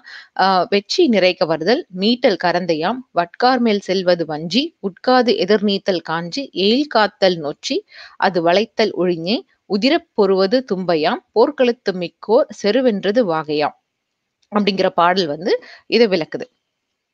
இதுல வந்து அஹ், வெற்றி நிலத்துல வெற்றின்றவங்க வந்து இந்த மக்கள் வந்து நிறை கவர்தல். அவங்க வந்து அந்த நம்ம ஆடு மாடு கேட்டில் சொல்றோம் இல்லையா? அந்த நிறை கவர்தல் வந்து வெற்றினும் கரந்தை அந்த மீட்டல் அதை மீட்டுறதுக்கு அது போர் புரிஞ்சு வர்றவங்க வந்து கரந்தையர்களும் சொல்றாங்க. சோ அந்த படை அந்த போர்ல வந்து உயிர் இழந்த கரந்தையர்களுக்காக மட்டும்தான் வந்து நடுக்கல் எடுப்பாங்கன்றது மரபு. லேகா ரொம்ப அருமையா சொன்னீங்க. எனக்கு ஒரு சின்ன சந்தேகம். இந்த நடுக்கற்கள் வந்து வைக்க வைக்கிறதுக்கான வரமுறைகள் ஆஹ், அதாவது நம்ம ப்ரொசீஜர் அப்படின்னு சொல்லுவோம் இல்லையா? அது மாதிரி ஏதாவது பத்தி குறிப்பிடப்பட்டிருக்கா? அதை பத்தி கொஞ்சம் சொல்றீங்களா? ஆ கண்டிப்பாங்க. தொல்காப்பியத்துல வந்து இது இதுக்கான பாடலே இருக்கு. காட்சி கால்கோள் நீர்ப்படை நடுகள் சீர்த்தகு மரபின் பெரும்படை வாழ்த்தல் என்ன? என்று இரு மூன்று மரபில் கல்லோடு புணர அப்படின்ற ஒரு பாடல் இருக்கு. இதுல என்னன்னா நடுகள் நடுறதுக்கான ஆறு நிலைப்பாடுகளை பத்தி குறிப்பிட்டிருக்காங்க. காட்சி. காட்சின்றது வந்து அந்த கல் அதாவது இந்த வீரனை பத்தின அவரோட வீர வீரத்தை பறைசாற்றுறதுக்காக அந்த கல்லை வந்து நம்ம எடுக்கிறோம். அந்த இடத்துல அது வந்து எது அத குறிப்புகளை வந்து நம்ம கு- பொறித்து நம்ம வந்து நடப்போறோம் அப்படின்ற ஒரு ஒரு பிளான் எக்ஸிக்யூட் பண்ற மாதிரி பிளானை வந்து எப்படி சொல்றாங்கன்னா எந்த இடத்துல எந்த மாதிரி கல்லை எடுக்கணும் அப்படின்றது தான் வந்து காட்சி. அதுக்கப்புறம் கால்கோள். கால்கோள்ன்றது வந்து அந்த எந்த நேரத்துல அதை நடக்கணும். அந்த எந்த நேரத்துல நடணும் அப்படின்னும் போது ஆஹ் நம்ம சொல்வோம்ல இப்ப சகுனம் பாக்குறது நேரம் நல்ல நேரம் பாக்குறதுன்றதான் வந்து இங்க கால்கோள். நீர்ப்படைனா கல்லை எடுத்தாச்சு அதுக்கப்புறம் அந்த இடத்த வந்து நம்ம டைமும் பார்த்தாச்சு. அப்போ அது வந்து நீர்ப்படை குழி குளியல்னு இன்னொரு இடத்துல குறிப்பிடுறாங்க. நீர் வழிபாடுன்னு இன்னொரு இடத்துல குறிப்பிடுறாங்க. அந்த நீர்ப்படை நடு அந்த நீர்ப்படைன்றது வந்து தேர்ட் ஸ்டெப் அந்த முடிச்சதுக்கு அப்புறமா ஒரு நல்ல இடத்துல வந்து ந- ஊருக்கு போறோமா அந்த நடுக்கலை வந்து நடுதல் ந- நட்டுடுறாங்க அதுக்கான விழா எடுக்கிறாங்க. அப்புறம் அதை வந்து ப்ரொசீஜரா வந்து ஒரு வாழ்த்துதல் அப்படின்ற ஒரு ஸ்டெப்பும் இருக்கு. அந் ஐந்தாவது வந்து விழா ஆறாவது வந்து வாழ்த்துதல். இது எதுக்கு பண்றாங்க அப்படின்னா அந்த வீரனை வந்து வணங்குறதுக்காகவும் அது மட்டும் இல்லாம எதுக்காக வணக்கம் வைக்கிறாங்க? அவர்களுக்கு முன்னாடி நெல் கல் நெய் விளக்கு ஏற்று எதுக்கு வணங்குறாங்க? அப்படின்றத வந்து சொல்றாங்கன்னா மாறி பொழிவதற்காக வணங்க வணங்குறதுக்காகவும் அவங்கள வந்து அவங்களோட சந்ததியை நல்ல வழி காட்டுறதுக்காகவும் வந்து அவங்க தெய்வமா வணங்குறது தான் வந்து இங்க வந்து ந- நடுக்கல்லோட தொகுப்புகளா வந்து குறிப்பிட்டிருக்காங்க. இதுல இன்னும் இன்னொரு விஷயம் பாத்தீங்கன்னா நடுகள் வந்து கரந்தியர்களுக்காக மட்டும்தான் எடுத்திருப்பாங்க. ஆனா நம்மளோட கண்ணகி இருக்காங்க இல்லையா அவங்களுக்காக மட்டும்தான் ஒரு பெண்ணுக்கான நடுகள் வந்து அமைக்கப்பட்டிருக்கு. இதுல என்ன ஒரு பெரிய சிறப்பு அப்படின்னு பாத்தீங்கன்னா நம்ம மன்னர்களுக்கு இது வரைக்கும் நடுகளே கிடையாது. ஆனா ரெண்டு மன்னர்களுக்கு இருக்கு. நம்ம சொல்றோம்ல விதிவிலக்கு அல்லது எக்ஸப்ஷன் அல்லது அவங்கள வந்து வ- இந்த கோட்டுக்குள்ள அடக்க முடியாது. ஆனா அவங்களுக்கு வந்து பறைசாற்றியே ஆகணும்ன்ற ஒரு குறிப்போட கோப்பெருஞ்சோழனுக்கும் நம்ம நெல்லிக்கனி கொடுத்த அதியமான் பெருந்தகைக்கும் இந்த இரண்டு மன்னர்களுக்கு மட்டும்தான் வந்து நடுக்கல் இருக்கு. இதுக்கான குறிப்புகளும் வந்து நம்ம பார்க்கலாம். நம்ம சங்க இலக்கியத்துல நிறைய இருக்கு. நீங்க இன்னும் நடுகளை பத்தி நிறைய தெரிஞ்சுக்கணும்னா மலைப்படுகடம் மூலியம் அகநானூறு புறநானூறுன்ற இந்த குறிப்புகள் இந்த நூல்களில் நூல்கள்ல வந்து ஏகப்பட்ட நடுகள் பத்தின குறிப்புகள் இருக்கு. இன்னும் சொல்ல போனோம்னா இப்போ வந்து நம்ம புலிமான் கோம்பையில வந்து கண்டுபிடிக்கப்பட்ட நடுகள் வந்து தமிழ் குறிப்புகளாலான கிமு மூன்றாம் நூற்றாண்டுல நடப்பட்ட நடுகள்ன்ற குறிப்பை வந்து நம்ம பார்க்கலாம். அதுல வந்து பேடு தீயவன் அந்தவன் கூடலூர் ஆகோல்கள்.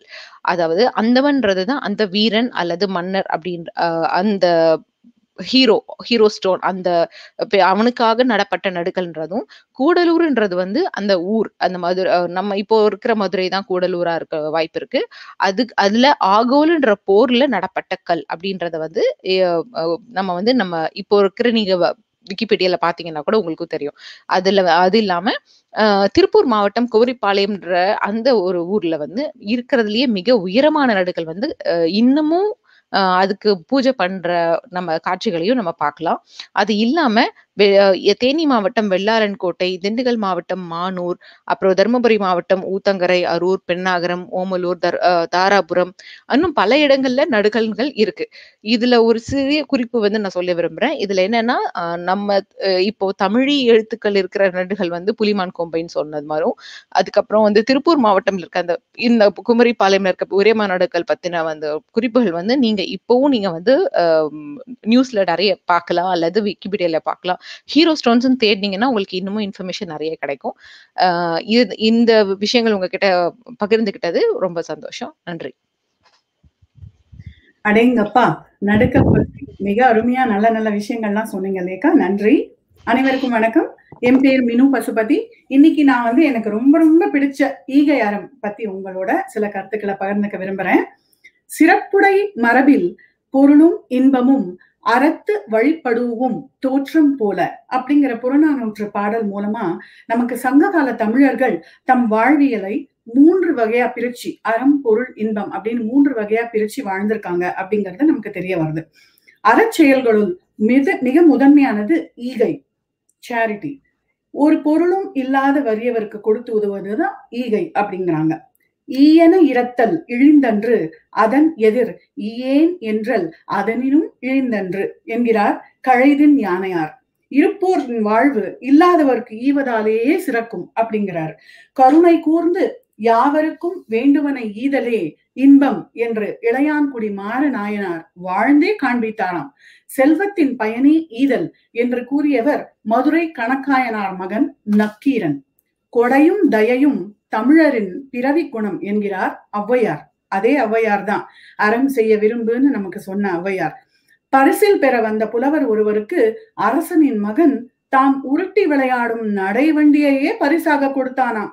இதை நடை கற்கும் முன் கொடை கற்றாயே என்று அந்த புலவர் மெய் சிலிர்த்து பாராட்டுகிறாராம்.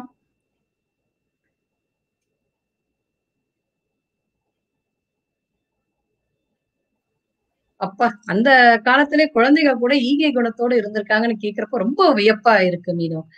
ஈகை பத்தி இன்னும் கொஞ்சம் சொல்லுங்களேன். கண்டிப்பா. ஆமா சம்மு நமது சங்ககால ஆற்றுப்படை இலக்கியங்கள் கொடை இலக்கியங்கள் அப்படின்னே கூட நம்ம சொல்லலாம். நம்ம அரசர்கள் கொடை பற்றி பதிற்று பத்து நூல்களில் கூட நம்ம பார்க்கலாம். ஈகைத்தன்மை மூன்று விதமாகுமா பிரிக்கப்படுகிறது. ஃபர்ஸ்ட் தரம் வந்து இயல்பாக அறிவது. அதாவது இனி அந்த இரவலன் வாழ்நாள் முழுவதும் இரவாமல் இருக்க அந்த அளவுக்கு ஈகை கொடுப்பாங்களாம். இது தலையேழு வள்ளல்களின் தன்மை. அடுத்த தரம் வந்து சிந்தித்து அறிந்து கொள்வது. இது இடையேழு வள்ளல்களின் தன்மை. அதாவது குறிப்பறிந்து ஈதல் அப்படின்னு சொல்றோம் இல்லையா அது. மூன்றாவது தரம் வந்து பிறர் சொல்லி அறிவது. கடையேழு வள்ளல்களின் தன்மை. இல்லை என்னாமல் கொடுப்பார்களாம். அதாவது சுயமாக தெரியறது சொல்லி புரியறது அப்படின்னு சொல்லுவோம் இல்லையா அந்த மாதிரி. இந்த மூன்று தரத்திலும் உள்ள பல வள்ளல்களை பற்றி நம்ம நிறையவே கேள்விப்பட்டிருக்கோம். பாரி ஓரி காரி ஆய் பேகன் அதியன் நள்ளி குமணன் அப்படின்னு இன்னும் பல பேர்.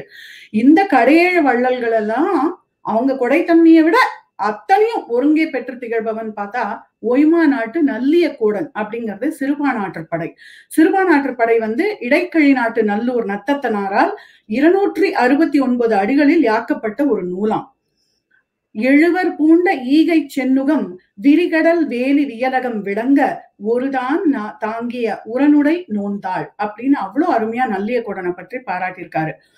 கடல் பிறக்கூட்டிய செங்குட்டுவன் என்னும் மன்னன் கொடுக்கும் பொருள்களை அவை அரியவை என்று எண்ணாமலும் தனக்கு தேவைப்படுமா என்று யோசிக்காது பிறருக்கு ஈபவனா அரிய எண்ணாது ஒம்பாது வீசி களைக என அறியா கசடியில் நெஞ்சத்து அப்படின்னு பதிற்று பத்து பாடல் அவரை பாராட்டுகிறது.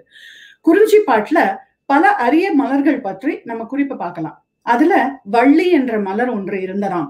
அது தன் மகரந்தத்தை எல்லா வண்டிற்கும் எப்போதும் மகிழ்ச்சியாக தருமா வள்ளி என்பது வள்ளல் தன்மையை போற்றும் துறை என்று புறநானூறு கூறுகிறது.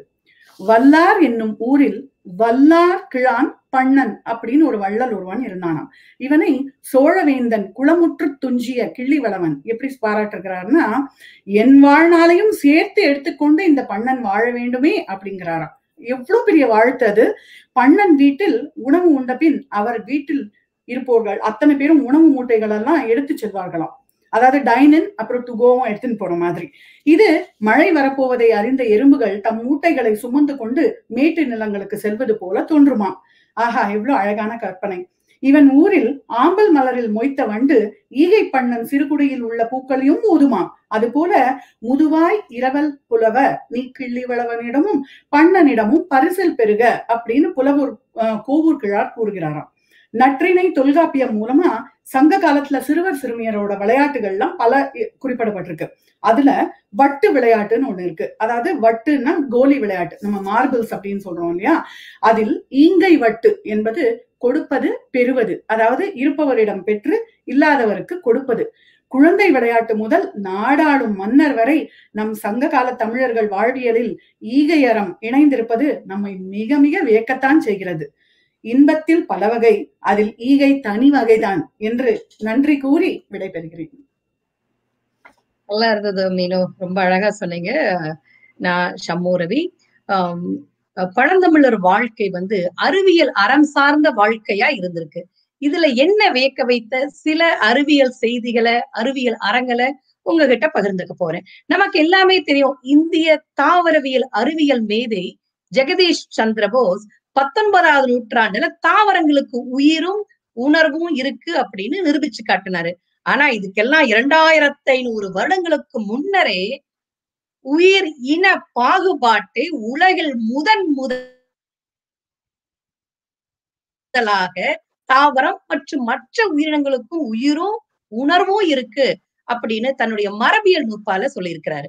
ஒன்றறிவதுவே உற்று அறிவதுவே இரண்டு அறிவதுவே அதனோடு நாவே மூன்றறிவதுவே அவற்றோடு மூக்கே நான்கறிவதுவே அவற்றோடு கண்ணே ஐந்தறிவதுவே அவற்றோடு செவியே ஆறறிவதுவே அவற்றோடு மனமே. அதாவது ஓர் அறிவு உயிரானது உடம்பினால் அறிவது. இரண்டு அறிவுங்கிறது வந்து உடம்பு மற்றும் வாயினால் அறிவது. மூன்று அறிவு அப்படிங்கிறது வந்து உடம்பு வாய் மூக்கினால் அறிவது. நான்கு அறிவு அப்படின்னு சொல்றது உடம்பு வாய் மூக்கு கண்ணினால் அறிவது. ஐந்தறிவுங்கிறது வந்து உடம்பு வாய் மூக்கு கண் செவியால் அறிவது. ஆறறிவுங்கிறது வந்து ஐந்தறிவோடு சேர்ந்து மனத்தினாலும் அறிவது. இது மட்டும் இல்லைங்க ஒவ்வொரு உயிரின அறிவு உயிரினத்துக்கும் எடுத்துக்காட்டு அறிவுக்கு வந்து புல் மரம் இரண்டு அறிவுக்கு வந்து நத்தை சிப்பி மூன்று அறிவுக்கு வந்து எறும்பு அட்டை நான்கறிவுக்கு வந்து நண்டு தும்பி ஐந்தறிவுக்கு வந்து எல்லா விலங்கினங்களும் பறவைகளும். ஆறறிவுக்கு நமக்கே தெரியும் யார் ஆறறிவு உயிரினங்கள்னு. இதையெல்லாம் பார்க்கும்போது தொல்காப்பியர் காலத்திலேயே தாவரவியல் உடற்கூற்றியல் விலங்கியல் போன்ற அறிவியல் துறைகள் மேம்பட்டு இருந்தது நமக்கு புலனாகிறது. பத்துப்பாட்டு நூலான பட்டினப்பாலையில காவிரியோடைய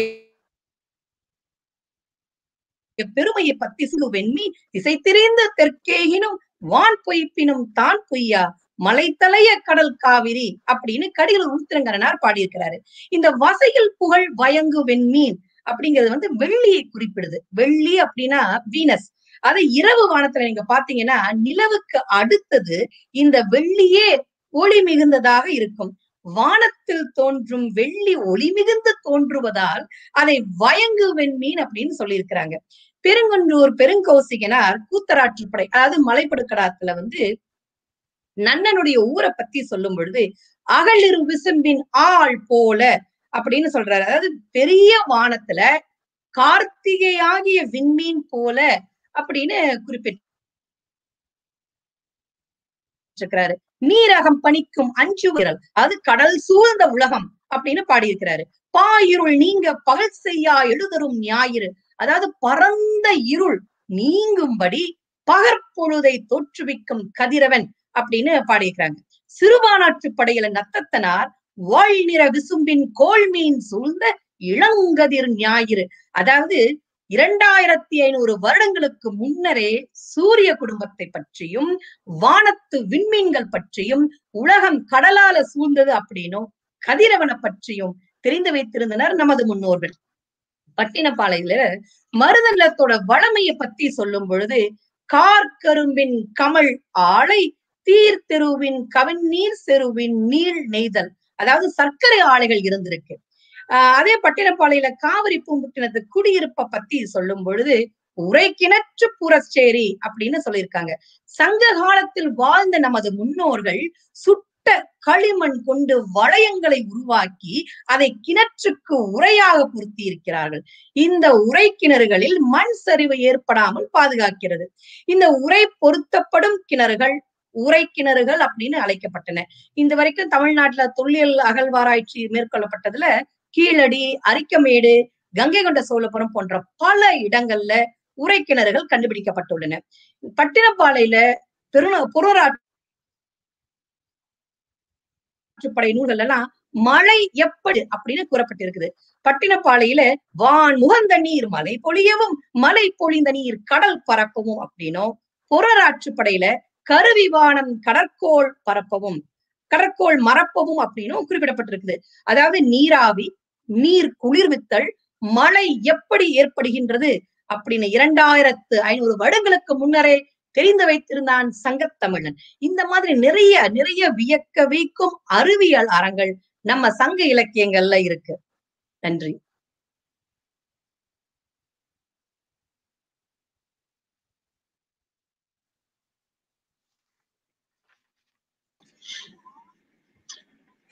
ரொம்ப நன்றிங்க. மிக அருமையா இருந்தது.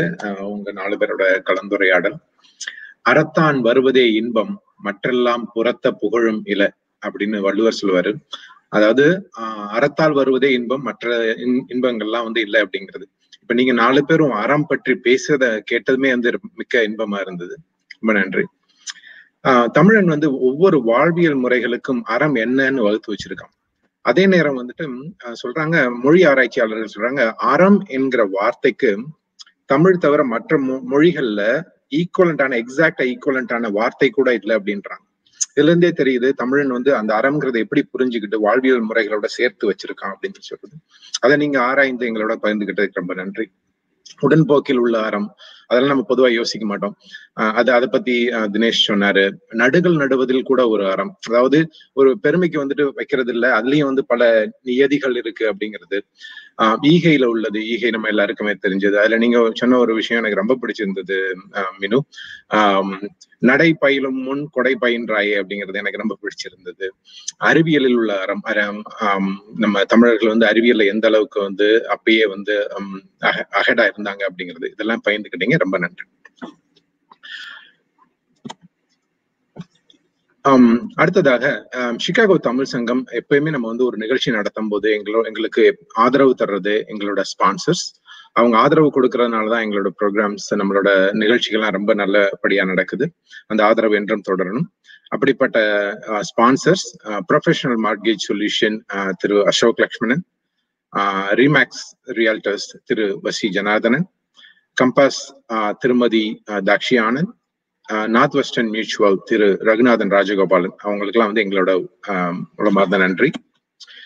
மற்றபடி இந்த நிகழ்ச்சியில கலந்து கொண்டு எங்களோட சிறப்புரை வழங்கிய முனைவர் பேராசிரியர் திருமிகு பர்வீன் சுல்தானா அவர்களுக்கும் கலந்துரையாடலில் பங்கேற்ற திருமிகு தினேஷ் பாபு கனகராஜ் திருமிகு லேகா சுப்பிரமணியன் திருமிகு மினு பசுபதி திருமிகு ஷம்மு ரவி அவர்களுக்கும் எங்களோடு இணைந்து இந்த சனிக்கிழமை காலை எங்களோட செலவழிச்சு அறம் பற்றிய வியத்தகு செய்திகளை கேட்டு மகிழ்ந்த உங்களுக்கும் மற்றும் எப்பொழுதும் போல் எங்களோட சேர்ந்து உழைத்து உரிய நேரத்தில் ஆலோசனை வழங்கி உறுதுணையாக இருக்கிற சிகாகோ தமிழ் சங்கத்தின் செயற்குழு உறுப்பினர்கள் அனைவருக்கும் எங்களது நன்றி.